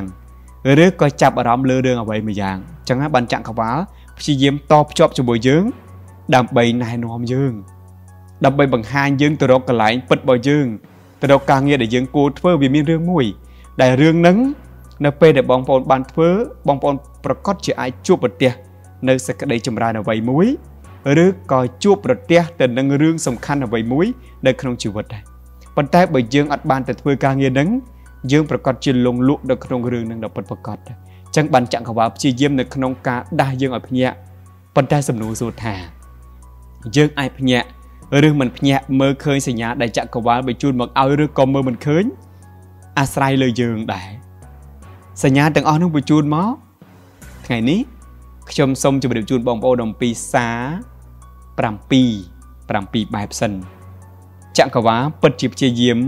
ផ្ដល់ជូនបងប្អូនតាមរយៈសញ្ញាទាំងអស់នឹងមែនហើយចក្រវាលពិតជាដាស់តាមរយៈសារទាំង7នឹងមែនព្យាយាមទាញចំណាប់អារម្មណ៍ពីបងប្អូនក៏តាមរយៈការបញ្ជូនសារទាំង7នេះដែរដូច្នេះប្រសិនបើបងប្អូនទាំងអស់គ្នាអាចកត់សម្គាល់មើលអំពីការបញ្ជូនសារឬក៏បងប្អូនគិតថាមិនមាន អាស្រ័យលើបងប្អូនទេណាបើបងប្អូនគិតថាអត់មានកម្លាំងពិសេសទៅគឺអត់មានអញ្ចឹងមែនបងប្អូនអង្គុយនៅមើលមេឃមើលផ្កាយមើលធម្មតា តែអត់ចាប់អារម្មណ៍ទេតែបើបងប្អូនគិតថាពិតជាមានពិតជាមានការបញ្ជូនសារមកមកកាន់បងប្អូនមែននោះការបញ្ជូនសារពិតជាបានពីព្រោះអីធម្មពលនៃចក្រវាលផ្ដល់ឲ្យបងប្អូនស្មើគ្នាដូចគ្នាទាំងអស់ប៉ុន្តែវាអាស្រ័យលើការទទួលរបស់បងប្អូន បើបងប្អូនគិតថាអត់មានហើយគឺអត់ហើយតែបើបងប្អូនគិតថាមានគឺនឹងមានអញ្ចឹងអ្នកដែលអាចរកឃើញ នៅសាររបស់ចក្រវាលឬក៏អ្នកដែលអាចបកស្រាយនៅសារសម្ងាត់ដែលចក្រវាលបញ្ជូនមកគឺលុះត្រាតែចក្រវាលបញ្ជូនមកហើយបងប្អូនដឹងដែរដឹងថាយើងកំពុងទៅរកអីដែរតាមពិតសញ្ញាហ្នឹងគឺមកជាប្រចាំហើយមកលេីឡំជាមួយនឹងជីវិតប្រចាំថ្ងៃរបស់បងប្អូននឹងឯង មកលេីឡំក្នុងរបៀបនៃការរស់នៅប្រចាំថ្ងៃ នៅក្នុងការសិក្សារបស់យើង បាទនៅក្នុងការកំសាន្តនៅក្នុងការសម្រាកក្នុងការសមាធិនៅក្នុងទំនាក់ទំនងរបស់យើងនេះឯងឬក៏នៅក្នុងមុខជំនួញរបស់យើង វាកាត់ឡើង នៅក្នុងលក្ខណៈណាមួយហៅថាបញ្ជ្រាបទៅតាមរបៀបដែលយើងរស់នៅក៏ប៉ុន្តែគ្រាន់តែចង់ឲ្យបងប្អូនដឹងថាខ្លះគឺអាចបកស្រាយ សារសម្ងាត់នឹងបាន ហើយក៏រកឃើញរបបកំហើញធំធំបងប្អូនឃើញអ្នកវិទ្យាសាស្ត្រធំធំឬក៏សិទ្ធិធំធំឬក៏បុគ្គលដែលមានការរីកចម្រើនធំធំអ្នកប្រាជ្ញធំធំ អ្នកនិពន្ធធំធំ អ្នកតែងបទភ្លេងអ្នកចម្រៀងឬក៏បុគ្គលដែលគាត់រីកចម្រើនអ្វីមួយយ៉ាងគាត់គឺជាមនុស្សម្យ៉ាងដែលអាចបកស្រាយសារទាំងអស់នោះបានហើយសាររបស់ចក្រវាលគឺឲ្យទៅកាន់មនុស្សគ្រប់គ្នា តែយើងអាច កត់សម្គាល់សារនឹងបានលុះត្រាយើងដឹងរឿងមួយដែរដឹងអីដឹងតែយើងកំពុងរកអីបងប្អូនកំពុងរកអីរងថ្ងៃបងប្អូនកំពុងចង់បានអីបងប្អូនមានក្តីសម័យអត់បងប្អូនមានគោលដៅអត់បងប្អូនរកខ្លួនឯងឃើញនៅបើសិនជាបងប្អូនអត់ចង់បានអីសោះអត់មានក្តីសម័យសោះអត់ចង់ស្វែងរកអ្វីសោះអត់ចង់ដឹងអ្វីទាំងអស់មិនចង់ស្វែងរកអ្វីទាំងអស់ មិនចង់បានអីទាំងអស់ឧទាហរណ៍អញ្ចឹងវាចង់បានតែលុយវាធម្មតាប៉ុន្តែអាចចង់បានអីលើសពីលុយជាគោលដៅជាក្តីសុបិនក្តីសម័យសកវាចក្រវាផ្ញើសារមកគឺបងប្អូនទទួលបានទេ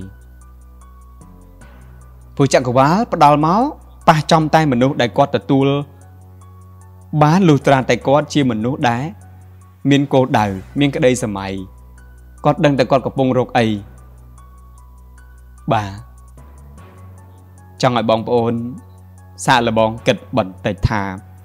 តើវត្តមានរបស់បងប្អូននៅលើផែនដីជីវិតតមានដែលចក្រវាលផ្ដល់មកឲ្យជីវិតមួយដ៏ពិតប្រាកដរូបកាយដ៏ពិតប្រាកដមានគ្រឿងក្នុងកាពះពវៀនសួតថ្លើមប្រមាត់មែនទេបងប្អូនបេះដូងសរសៃឈាមនេះគឺជាការផ្ដល់ជូនពីចក្រវាល ហើយជាពិសេសគឺមួយដុំនៅប៉ែកខាងលើ1គីឡូ2ខាំគឺខួរក្បាលយើងតើបងប្អូនចង់បានអីបងប្អូនចង់ស្វែងរកអ្វីបងប្អូនចង់ផលិតអ្វីមានគោលដៅបែបណានៅក្នុងជីវិតរបស់បងប្អូន ពេលនោះហើយចក្រវាលផ្ដល់មកគឺបងប្អូននឹងទទួលបានហើយតាមរបៀបផ្សេងផ្សេងអញ្ចឹងរបៀបទាំង10របៀបទាំង7នេះវាជាសញ្ញាកាពិតវាមាន15ប៉ុន្តែខ្ញុំផ្ដល់ជូន7សិនណាបាទ ទុកពាក់កណ្ដាលសិនព្រោះវីដេអូនេះវែងដែរបាទអញ្ចឹងបងប្អូន នៅពេលដែលមកវាមានលក្ខណៈពេលខ្លះយើងអត់ចាប់អារម្មណ៍ទេ វាមកបែបសាមញ្ញសាមញ្ញអត់ពេលខ្លះផ្ដាល់ឲ្យយើងមកបែបធម្មជាតិដែលយើងអត់ចាប់អារម្មណ៍ទេបាទវាដូចជាធម្មតាវាដូចជាមានពេលខ្លះអាចបងប្អូនយល់ថាវាជាឧបសគ្គបងប្អូនពេលខ្លះវាជាឧបសគ្គរបស់បងប្អូនដែលបងប្អូនយល់ខុសអញ្ចឹងថាវាជាឧបសគ្គ កន្លែងហ្នឹងដែលចង់ឲ្យបងប្អូនថាឲ្យយល់ថាបុគ្គលដែលគាត់ទៅដល់គោលដៅរបស់គាត់គឺគាត់តែងតែយកឧបសគ្គហ្នឹងធ្វើជាឧបករណ៍សម្រាប់ជំរុញ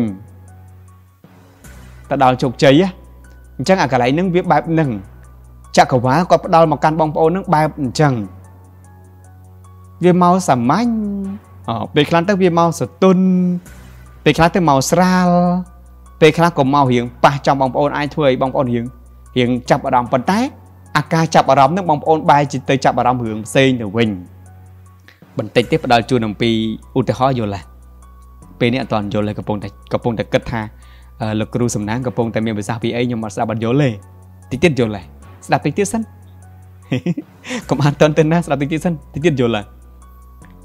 អញ្ចឹងចក្រវាលផ្ដល់ទៅកាន់បងប្អូនទាំងអស់គ្នាអត់ដូចគ្នាទេអត់មានការកំណត់សម្គាល់មួយយ៉ាងមួយណាទេណា គឺខុសគ្នាខុសគ្នាទាំងអស់គឺវាសម្របទៅតាមលក្ខណៈរបស់បងប្អូនបងប្អូនកំពុងតែស្វែងរកអីកំពុងតែគិតអីកំពុងតែចង់ទៅណានៅក្នុងគោលដៅជីវិតរបស់បងប្អូនណាចឹងចក្រវាលលោកនឹងផ្ដល់ជូនទៅកាន់បងប្អូន ទៅតាមបរិបទរបស់បងប្អូនដែលចង់បាននឹងឯងអញ្ចឹងចេញទៅក្រៅតិចចេញទៅទទួលយកធម៌ពលនៅខាងក្រៅ ចេញទៅឈរផ្ទាល់ដី ចេញទៅអង្គុយផ្ទាល់ដីចេញទៅសម្លឹងមើលចក្រវាលថាចក្រវាលមួយនេះមានធម៌ពលមួយ ដែលកំពុងតែសន្ទនាឆ្លើយឆ្លងជាមួយបងប្អូនកំពុងផ្ដល់ក្តីសង្ឃឹមផ្ដល់ក្តីញញឹមស្នាមរីករាយមកកាន់បងប្អូនឲ្យបងប្អូនមានជំនឿជឿជឿសិនជឿថាមានកម្លាំងនឹងនោះកម្លាំងនោះពិតជាមាន តែការបកស្រាយរបស់ខ្ញុំទៅកាន់បងប្អូនអាចថាពិបាកយល់បន្តិចឯណាបងប្អូនអាចទទួលបានបងប្អូនអាចទទួលមិនបានអានឹងអាស្រ័យលើបងប្អូនទេហើយការបកស្រាយហ្នឹងគឺអាស្រ័យលើបងប្អូនមាននិស្ស័យដែរមាននិស្ស័យជាមួយខ្ញុំស្ដាប់ខ្ញុំយល់អូយបងអូនសំណាងហើយនិយាយមកលឿនឡើងចង់ស្ដាប់ណាបន្តិចទៀតនិយាយហើយតែចង់ឲ្យបងប្អូនអញ្ចឹងសិនបងប្អូនហើយនៅពេលដែលអ្វីគ្រប់យ៉ាងនៅពេលដែលគេចង្អុលចំចំហ្មងវាអត់សូវមានន័យទេបងប្អូន ទុកឲ្យបងប្អូនវិលវិលវិលវិលនៅជុំនឹងបន្តិចសិនដើម្បីបងប្អូនចាប់អារម្មណ៍តើខ្ញុំកំពុងតែសន្ទនាជាមួយបងប្អូននឹងដល់នៅ ដល់ចំណុចទាំងអស់ហ្នឹងនៅកុំឲ្យបងប្អូនស្ដាប់ស្ដាប់អត់ដឹងទៅដល់កន្លែងណាចឹងទុកឲ្យបងប្អូនដឹងសិនថាតើចំណុចទាំង7ដែលខ្ញុំនឹងជម្រាបជូនបងប្អូនបន្តិចទៀតនេះតើបងប្អូនចាប់អារម្មណ៍អត់កន្លងទៅជួបនៅឬក៏មិនទាន់ជួបទេបើអត់ទាន់ជួប ចាំសម្គាល់ទាំងអស់គ្នាថាតើចំណុចទាំង7ហ្នឹងប៉ះបងប្អូនណាមួយនៅពាល់ចំអារម្មណ៍នៅអូយលោកគ្រូហើយចំខ្ញុំហើយតែខ្ញុំអត់ដឹងលោកគ្រូខ្ញុំរំលងបាត់ហើយខ្ញុំទៅខឹងជាមួយទៀតខ្ញុំទៅបន្ទុះសារាយទៀតខ្ញុំទៅគប់ចោលទៀតខ្ញុំទៅបើសិនបើសិនជាមានរូបរាងវិញខ្ញុំច្រាំចោលឲ្យខ្ទេចខ្ញុំខឹងណាលោកគ្រូអូដល់ពេលលោកគ្រូជំរាបជូនអញ្ចឹងទៅទើបខ្ញុំដឹងថា ការពិតទៅជាការសន្ទនារបស់ចក្រវាលមកកាន់ខ្ញុំសោះអញ្ចឹងនៅពេលដែលជួបលើក្រោយមិនវិញបដូរសកម្មភាពអត់បដូរអារម្មណ៍បដូរចិត្តអត់សារទី1គឺសញ្ញាពីធម្មជាតិសញ្ញាពីធម្មជាតិនេះបងប្អូនពិបាកក្នុងការកំណត់សម្គាល់ណាស់ពិតជាលំបាកនៅក្នុងការកត់សម្គាល់ដូចគ្នាពីព្រោះជាលក្ខណៈច្រើនសន្តាន ឥឡូវខ្ញុំឧទាហរណ៍ថាវាដូចជាពណ៌ពណ៌ណាមួយអបងប្អូនខ្លះគាត់រកឃើញអំពីស្ថានភាពមួយតាមរយៈដើមឈើចឹងទៅតាមរយៈរុក្ខជាតិណាមួយចឹងទៅឬតាមរយៈដុំថ្មចឹងទៅឬតាមរយៈព្រឹត្តិការណ៍ណាមួយចឹងទៅបាទនៅពេលដែលគាត់ជួបរឿងនេះមួយស្រាប់តែគាត់ផ្លាស់ប្ដូរខ្លួនគាត់ទៅជារឿងនោះ គាត់ជួបរឿងនោះគាត់ផ្លាស់ប្ដូរមកជារឿងនេះអញ្ចឹងព្រឹត្តិការណ៍ដែលគាត់បានជួបនោះ គឺជាសញ្ញាផ្ដល់ជូនពីធម្មជាតិរបស់ចក្រវាលមកកាន់បងប្អូនឬក៏យើងអាចនិយាយថាធម្មជាតិប្រាប់យើងត្រង់ត្រង់ដុំថ្មសត្វដើមឈើស្មៅភ្នំដីខ្យល់ទឹកភ្លើងទាំងអស់ហ្នឹងបងប្អូន លោក Percy Spencer ខ្ញុំឧទាហរណ៍លោក Percy Spencer គាត់ធ្វើការនៅក្នុងប្រព័ន្ធរ៉ាដានៅសហរដ្ឋអាមេរិកគាត់ជាវិស្វករបងប្អូនខ្ញុំឧទាហរណ៍ជូនហើយគាត់ទៅធ្វើការគាត់ដាក់ស្ករកស៊ូម្ដុំក្នុងកប៉ៅរបស់គាត់ហើយគាត់ធ្វើការជាមួយនឹង microwave microwave វាជារលកសញ្ញាមួយ ដែលប្រើសម្រាប់កាយរណបទេយើងអត់និយាយពី microwave អីដែលយើងដឹងរាល់ថ្ងៃហ្នឹងទេណាបងប្អូន សម័យទៅតាមខ្ញុំសិនសម័យទៅកាន់ខ្ញុំជាមួយនឹង microwave សម័យនោះសិនបាទ microwave កាលនោះប្រភពដើមរបស់ microwave គឺតាក់ទងជាមួយនឹងប្រព័ន្ធ radar ប្រព័ន្ធអ៊ីនធឺណិតប្រព័ន្ធ Wi-Fi អញ្ចឹងណាបងប្អូនបច្ចេកវិទ្យានៅក្នុងការទំនាក់ទំនងដូចជាទូរស័ព្ទដូចជាវិទ្យុដូចជាទូរទស្សន៍អញ្ចឹងទៅនៅពេលដែលគាត់ទៅធ្វើការថ្ងៃនោះគាត់សង្កេតឃើញថាស្ករកស៊ូនៅក្នុងហៅប៉ៅរបស់គាត់ចាប់ផ្ដើមរលាយ ហើយធម្មតាយើងនៅពេលដែលឃើញវត្ថុអីមួយរលាយយើងគិតថាអត់ដោយសារសតនភាពហើយដោយសារកម្ដៅហើយតែគាត់អត់គិតអញ្ចឹងទេគាត់គិតថាការដែលស្ករកស៊ូនឹងរលាយគឺដោយសារតែរលកសញ្ញា កំពុងតែធ្វើការជាមួយប្រព័ន្ធរ៉ាដាអា microwave នឹងវាកំពុងតែធ្វើឲ្យស្ករកស៊ូរបស់គាត់នឹងចាប់ផ្ដើមរលាយគាត់នឹកឃើញថាអូបើសិនជា ស្ករកស៊ូរលាយដោយសារតែរលកសញ្ញាមួយនេះ តែគាត់អាចឆ្នៃរលកសញ្ញានឹងឲ្យទៅជាឧបករណ៍សម្រាប់ចម្អិនអាហារបានអត់ដោយសារមនុស្សម្នាក់ហ្នឹងគាត់គិតបែបណាមួយបានគាត់ទៅយល់បែបហ្នឹងហើយបងប្អូនជឿអត់ថារលករំញ័ររបស់ microwave ដែលយើងមើលអត់ឃើញនឹងភ្នែកតែលោក Spencer គាត់ពិសោធន៍ក៏យករលកសញ្ញាទាំងអស់ហ្នឹងទៅបង្កើតបានជាឆ្នាំងអគ្គិសនីមែន បង្កើតបានទៅជាឆ្នាំងអគ្គិសនីមួយដែលមានឈ្មោះថា microwave ឃើញអត់បងប្អូន អាចចម្អិនម្ហូបអាហារបាននេះ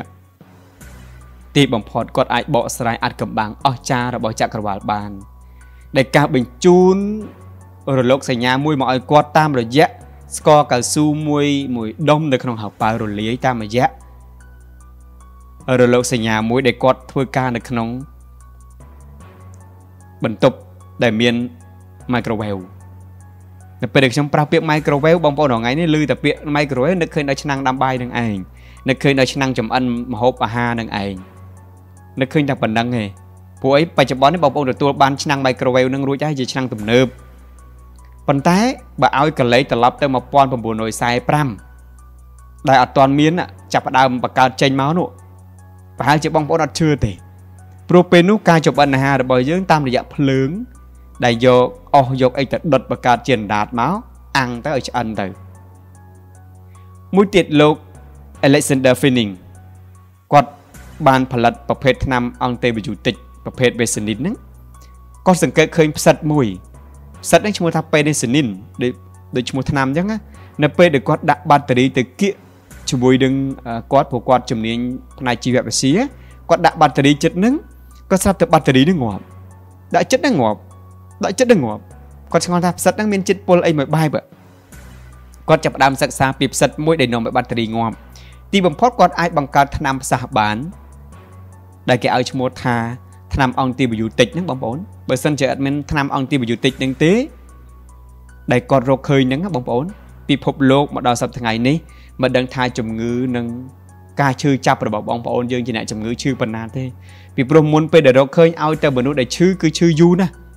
ប៉ុន្តែឥឡូវបងប្អូនឃើញហើយឈឺយើងឈឺត្រឹមតែយ៉ាងយូរបំផុតមួយខែទេអត់ចាំបាច់ដល់ឆ្នាំទេព្រោះថ្នាំប្រភេទអង់ទីម៉ូយូទិកប៉េនីស៊ីលីនហ្នឹងគឺអាចព្យាបាលនៃការឈឺចាប់នឹងបានប្រព័ន្ធវះកាត់ក៏រីកចម្រើនជាងមុនសង្គ្រោះមនុស្សបានរាប់ពាន់លាននាក់តាំងពីឆ្នាំ1928មករកឃើញឆ្នាំហ្នឹងចឹងការកត់សម្គាល់ឃើញផ្សិតមួយវាជារឿងសាមញ្ញធម្មតាទេបងប្អូនបើសិនជាបុគ្គលធម្មតាប៉ុន្តែបើបងប្អូនមើលឲ្យជ្រៅ ទើបបងប្អូនដឹងថានេះគឺជាសញ្ញាដែលចក្រវាលបានបញ្ជូនមកឲ្យហើយអ្នកដែលអាចកត់សម្គាល់សញ្ញានេះបានលុះត្រាតែមនុស្សនោះគឺមានអារម្មណ៍ថាចង់បង្កើតអ្វីចង់រកអ្វីបងប្អូនបងប្អូនធ្លាប់មានអារម្មណ៍ថាអឺចង់คลายទៅជាអ្វីមួយចង់បង្កើតអេបអ្វីមួយឧទាហរណ៍ណាប្រសិនមកបងប្អូនជាមនុស្សដែលចង់คลายទៅជាអ្វីមួយបង្កើតអ្វីមួយឬចង់បានអ្វីមួយនៅពេលនោះគឺ ចក្រវាលបញ្ជូនបានយើងអាចបកស្រាយសញ្ញាតំណែងតំណងនឹងបានបន្ទោះបីសញ្ញានឹងវាមករាប់រយរាប់ពាន់លានកដៅបើយើងអត់មានអ្វីដែលជារបស់យើងទុកឲ្យហើយទេសញ្ញាដែលមកប៉ះជាមួយយើងវានឹងប៉ើងត្រឡប់ទៅវិញទៅបាទមិនមែនសញ្ញានឹងអត់ធ្លាប់ប៉ះបងប្អូនទេមិនមែនប៉ះទៅលើលោក Spencer ប៉ះទៅលើលោក Alexander នឹងអត់ទេប៉ះមកកាន់បងប្អូនទាំងអស់គ្នានឹងនៅតែបន្តផ្ដល់ឲ្យបងប្អូនទាំងអស់នឹង ពីព្រោះចក្រវាលនេះធម្មជាតិនេះគេថាជាជំរករបស់អភូតិហេតុនៅក្នុងលោកនេះគឺមានអភូតិហេតុច្រើនណាស់ដែលអភូតិហេតុនោះគឺជាជំរករបស់គាត់នៅក្នុងធម្មជាតិជុំវិញខ្លួនបងប្អូននេះឯងហើយធម្មជាតិនៅក្នុងជុំវិញបងប្អូននេះវាគឺជាជំរករបស់អភូតិហេតុដែលមានរឿងអស្ចារ្យជាច្រើនដែលចាំឲ្យបងប្អូនគឺជាជំរកនៅក្នុងធម្មជាតិនៅក្នុងចក្រវាលដែលអភូតហេតុតន្ទឹងរងចាំឲ្យបងប្អូនរងចាំបងប្អូនទាំងឡាយប៉ុន្តែ ប្រសិនបើបងប្អូនជាមនុស្សម្នាក់ដែលអត់នឹកឃើញចង់បង្កើតអីអត់ចង់បានអីអត់ចង់រកឃើញអីហើយនៅពេលដែលសញ្ញាទាំងអស់នោះបញ្ជូនមកយើងក៏អត់បានដឹងដែរពីព្រោះយើងបកស្រាយអត់បានហេតុអីយើងបកស្រាយអត់បានពីព្រោះយើងអត់ដែលមានអារម្មណ៍ថាចង់បានទេយើងអត់ចង់បង្កើតអីទេឬក៏យើងមានអារម្មណ៍ថាចង់តែបានបែបណាមួយហើយចង់តែបានឡានមួយធ្វើផ្ទះឲ្យធំមួយប៉ុណ្ណឹងយើងក៏អាចថាវា នៅក្នុងចំណោមណាមួយកម្រិតណាមួយដែលចក្រវាលផ្ដល់ឲ្យដែរប៉ុន្តែបើបងប្អូនចង់ដឹងអាភូតហេតុធំជាងនឹងលុះត្រាតែយើងចង់បង្កើតអីមួយខ្ញុំចង់បង្កើតក្រុមហ៊ុនមួយខ្ញុំចង់បង្កើត app មួយខ្ញុំចង់បង្កើត website មួយឧទាហរណ៍ធំធំផ្សេងផ្សេងទៀតជាច្រើនអញ្ចឹងទៅអញ្ចឹងចក្រវាលនឹងផ្ដល់ឲ្យបងប្អូននៅពេលដែលយើងសិក្សាស្រាវជ្រាវយើងនឹងទទួលបានចម្លើយយ៉ាងច្រើនច្រើនជាងការស្វែងរករបស់យើងទៀតហើយសំណួរចោទសួរថាយើងចង់បានអី ចក្រវាលព្យាយាមណាស់នៅក្នុងការណែនាំយើងដោយលោកណែនាំលោកទាំងពីរនាក់បាទលោក Alexander Fleming ឬក៏លោកបាទលោក Percy Spencer ដែលបង្កើត microwave អញ្ចឹងដូចគ្នាមានមនុស្សប្រភេទគាត់ជាច្រើនអ្នកទៀតបងប្អូន អ្នកនិពន្ធក៏ច្រើន មនុស្សដែលរកឃើញរបស់កំហុសថ្មីថ្មីជាច្រើនទៀតចាស់យុទ្ធបែនតែនអ្នកទាំងអស់នោះមិនប្រកាសថាឆ្លាតជាងយើងទេបងប្អូន ប៉ុន្តែដោយសារតែគាត់កើតមកគាត់មានអារម្មណ៍ថាចង់បង្កើតអីមួយដោយលោក Thomas Edison អញ្ចឹងឃើញទេបាទចង់បង្កើតអំពូលឃើញបានមកហ៎បងប្អូនចេញទៅក្រៅផ្ទះបន្តិចបងប្អូនចង់ខ្លាយជាអីចង់ខ្លាយជាសហគ្រិនចង់ខ្លាយទៅជាប្រធានណាមួយចង់ខ្លាយជាអ្នកប្រាជ្ញចង់ខ្លាយជាកវីចង់ខ្លាយជាអីក៏ได้ឲ្យតែបងប្អូនចង់ណាឲ្យតែបងប្អូនចង់នៅពេលដែលចង់ខ្លាយជាអ្នកបង្កើតអ្វីថ្មីមួយហើយ នោះពេលនោះបងប្អូននឹងទទួលបានសញ្ញា ដែលសញ្ញានោះ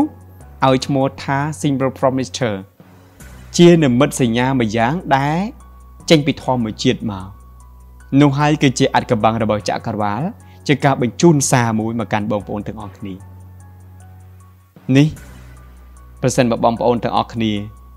ទទួលបាននៅចំណុចទី1នេះហើយសាកត្រឡប់គិតបន្តិចមើលថាធ្លាប់ជួបពីមុនមកអត់ បងប្អូនធ្លាប់ជួបខុបខុបគ្នាបញ្ជាក់បងប្អូនម្ដងទៀតបងប្អូនអាចជួបបានលុះត្រាតែបងប្អូនចង់បានអ្វីមួយសិនការតន្ទឹងរង់ចាំរបស់បងប្អូនមួយសិនបើអត់ទេ គឺចក្រវាលមិនអាចជួយបានទេ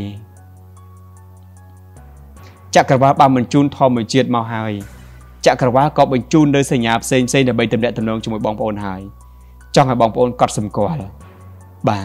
ធម្មជាតិដែលនៅជុំវិញខ្លួនយើងនេះប្រសិនបើបងប្អូនចង់ស្គាល់ចក្រវាលចង់ស្គាល់អត្តកម្បាំងចក្រវាលបងប្អូនស្គាល់ធម្មជាតិពីព្រោះធម្មជាតិគឺជាអ្វីមួយយ៉ាង ដែលចក្រវាលបញ្ជូនមកឲ្យជាអ្នកនាំសារបន្តមកកាន់បងប្អូនប្រសិនបើបងប្អូនមិនស្រឡាញ់ធម្មជាតិគឺស្មើនឹងបងប្អូនមិនស្រឡាញ់អ្នកនាំសារមកឲ្យយើងហើយធម្មជាតិនេះបងប្អូនដឹងហើយថាគឺជាជំរកនៃអត្តកម្បាំផ្សេងផ្សេង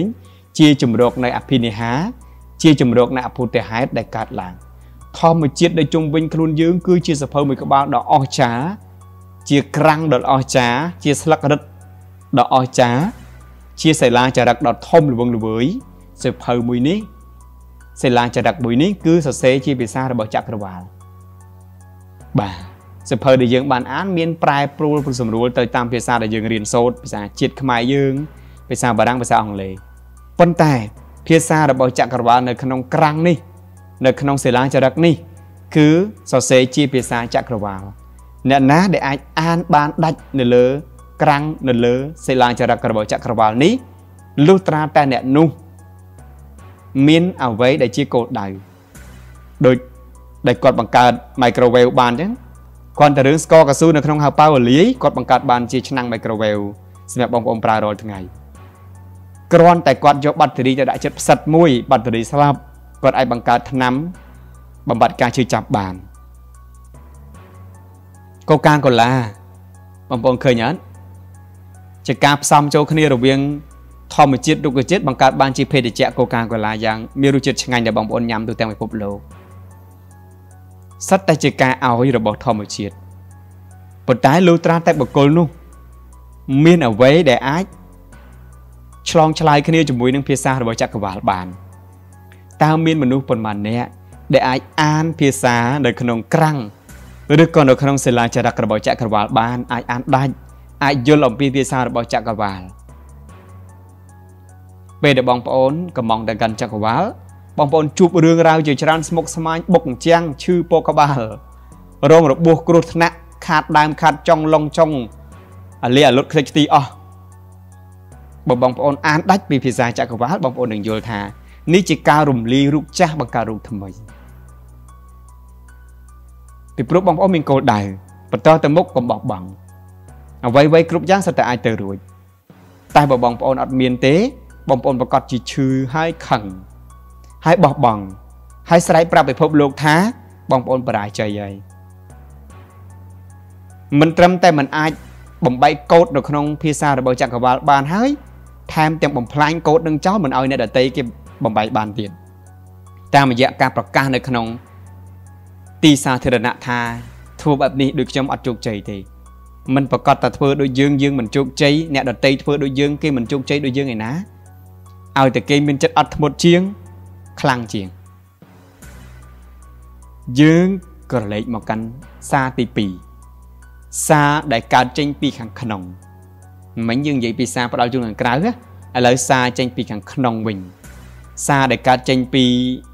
អ្វីមួយយ៉ាងនៅ ខាងក្នុងខ្លួនយើងជាដួងជាដួងហើយយើងរងថ្ងៃយើងដឹងតាមរយៈការសិក្សារៀនសូត្រពីលោកគ្រូអ្នកគ្រូយើងចូលទៅអានព្រះគម្ពីរយើងចូលទៅអានបត្រៃបិដកយើងចូលទៅសិក្សាក្នុងសំណាក់ណាមួយ លោកគ្រូទេសសាពមក សាស្ត្រាចារ្យបណ្ឌិតកវីអានេះយើងទទួលការដឹងរៀនសូត្រផ្ទាល់ផ្ទាល់បន្តពីមនុស្សប៉ុន្តែការទទួលពី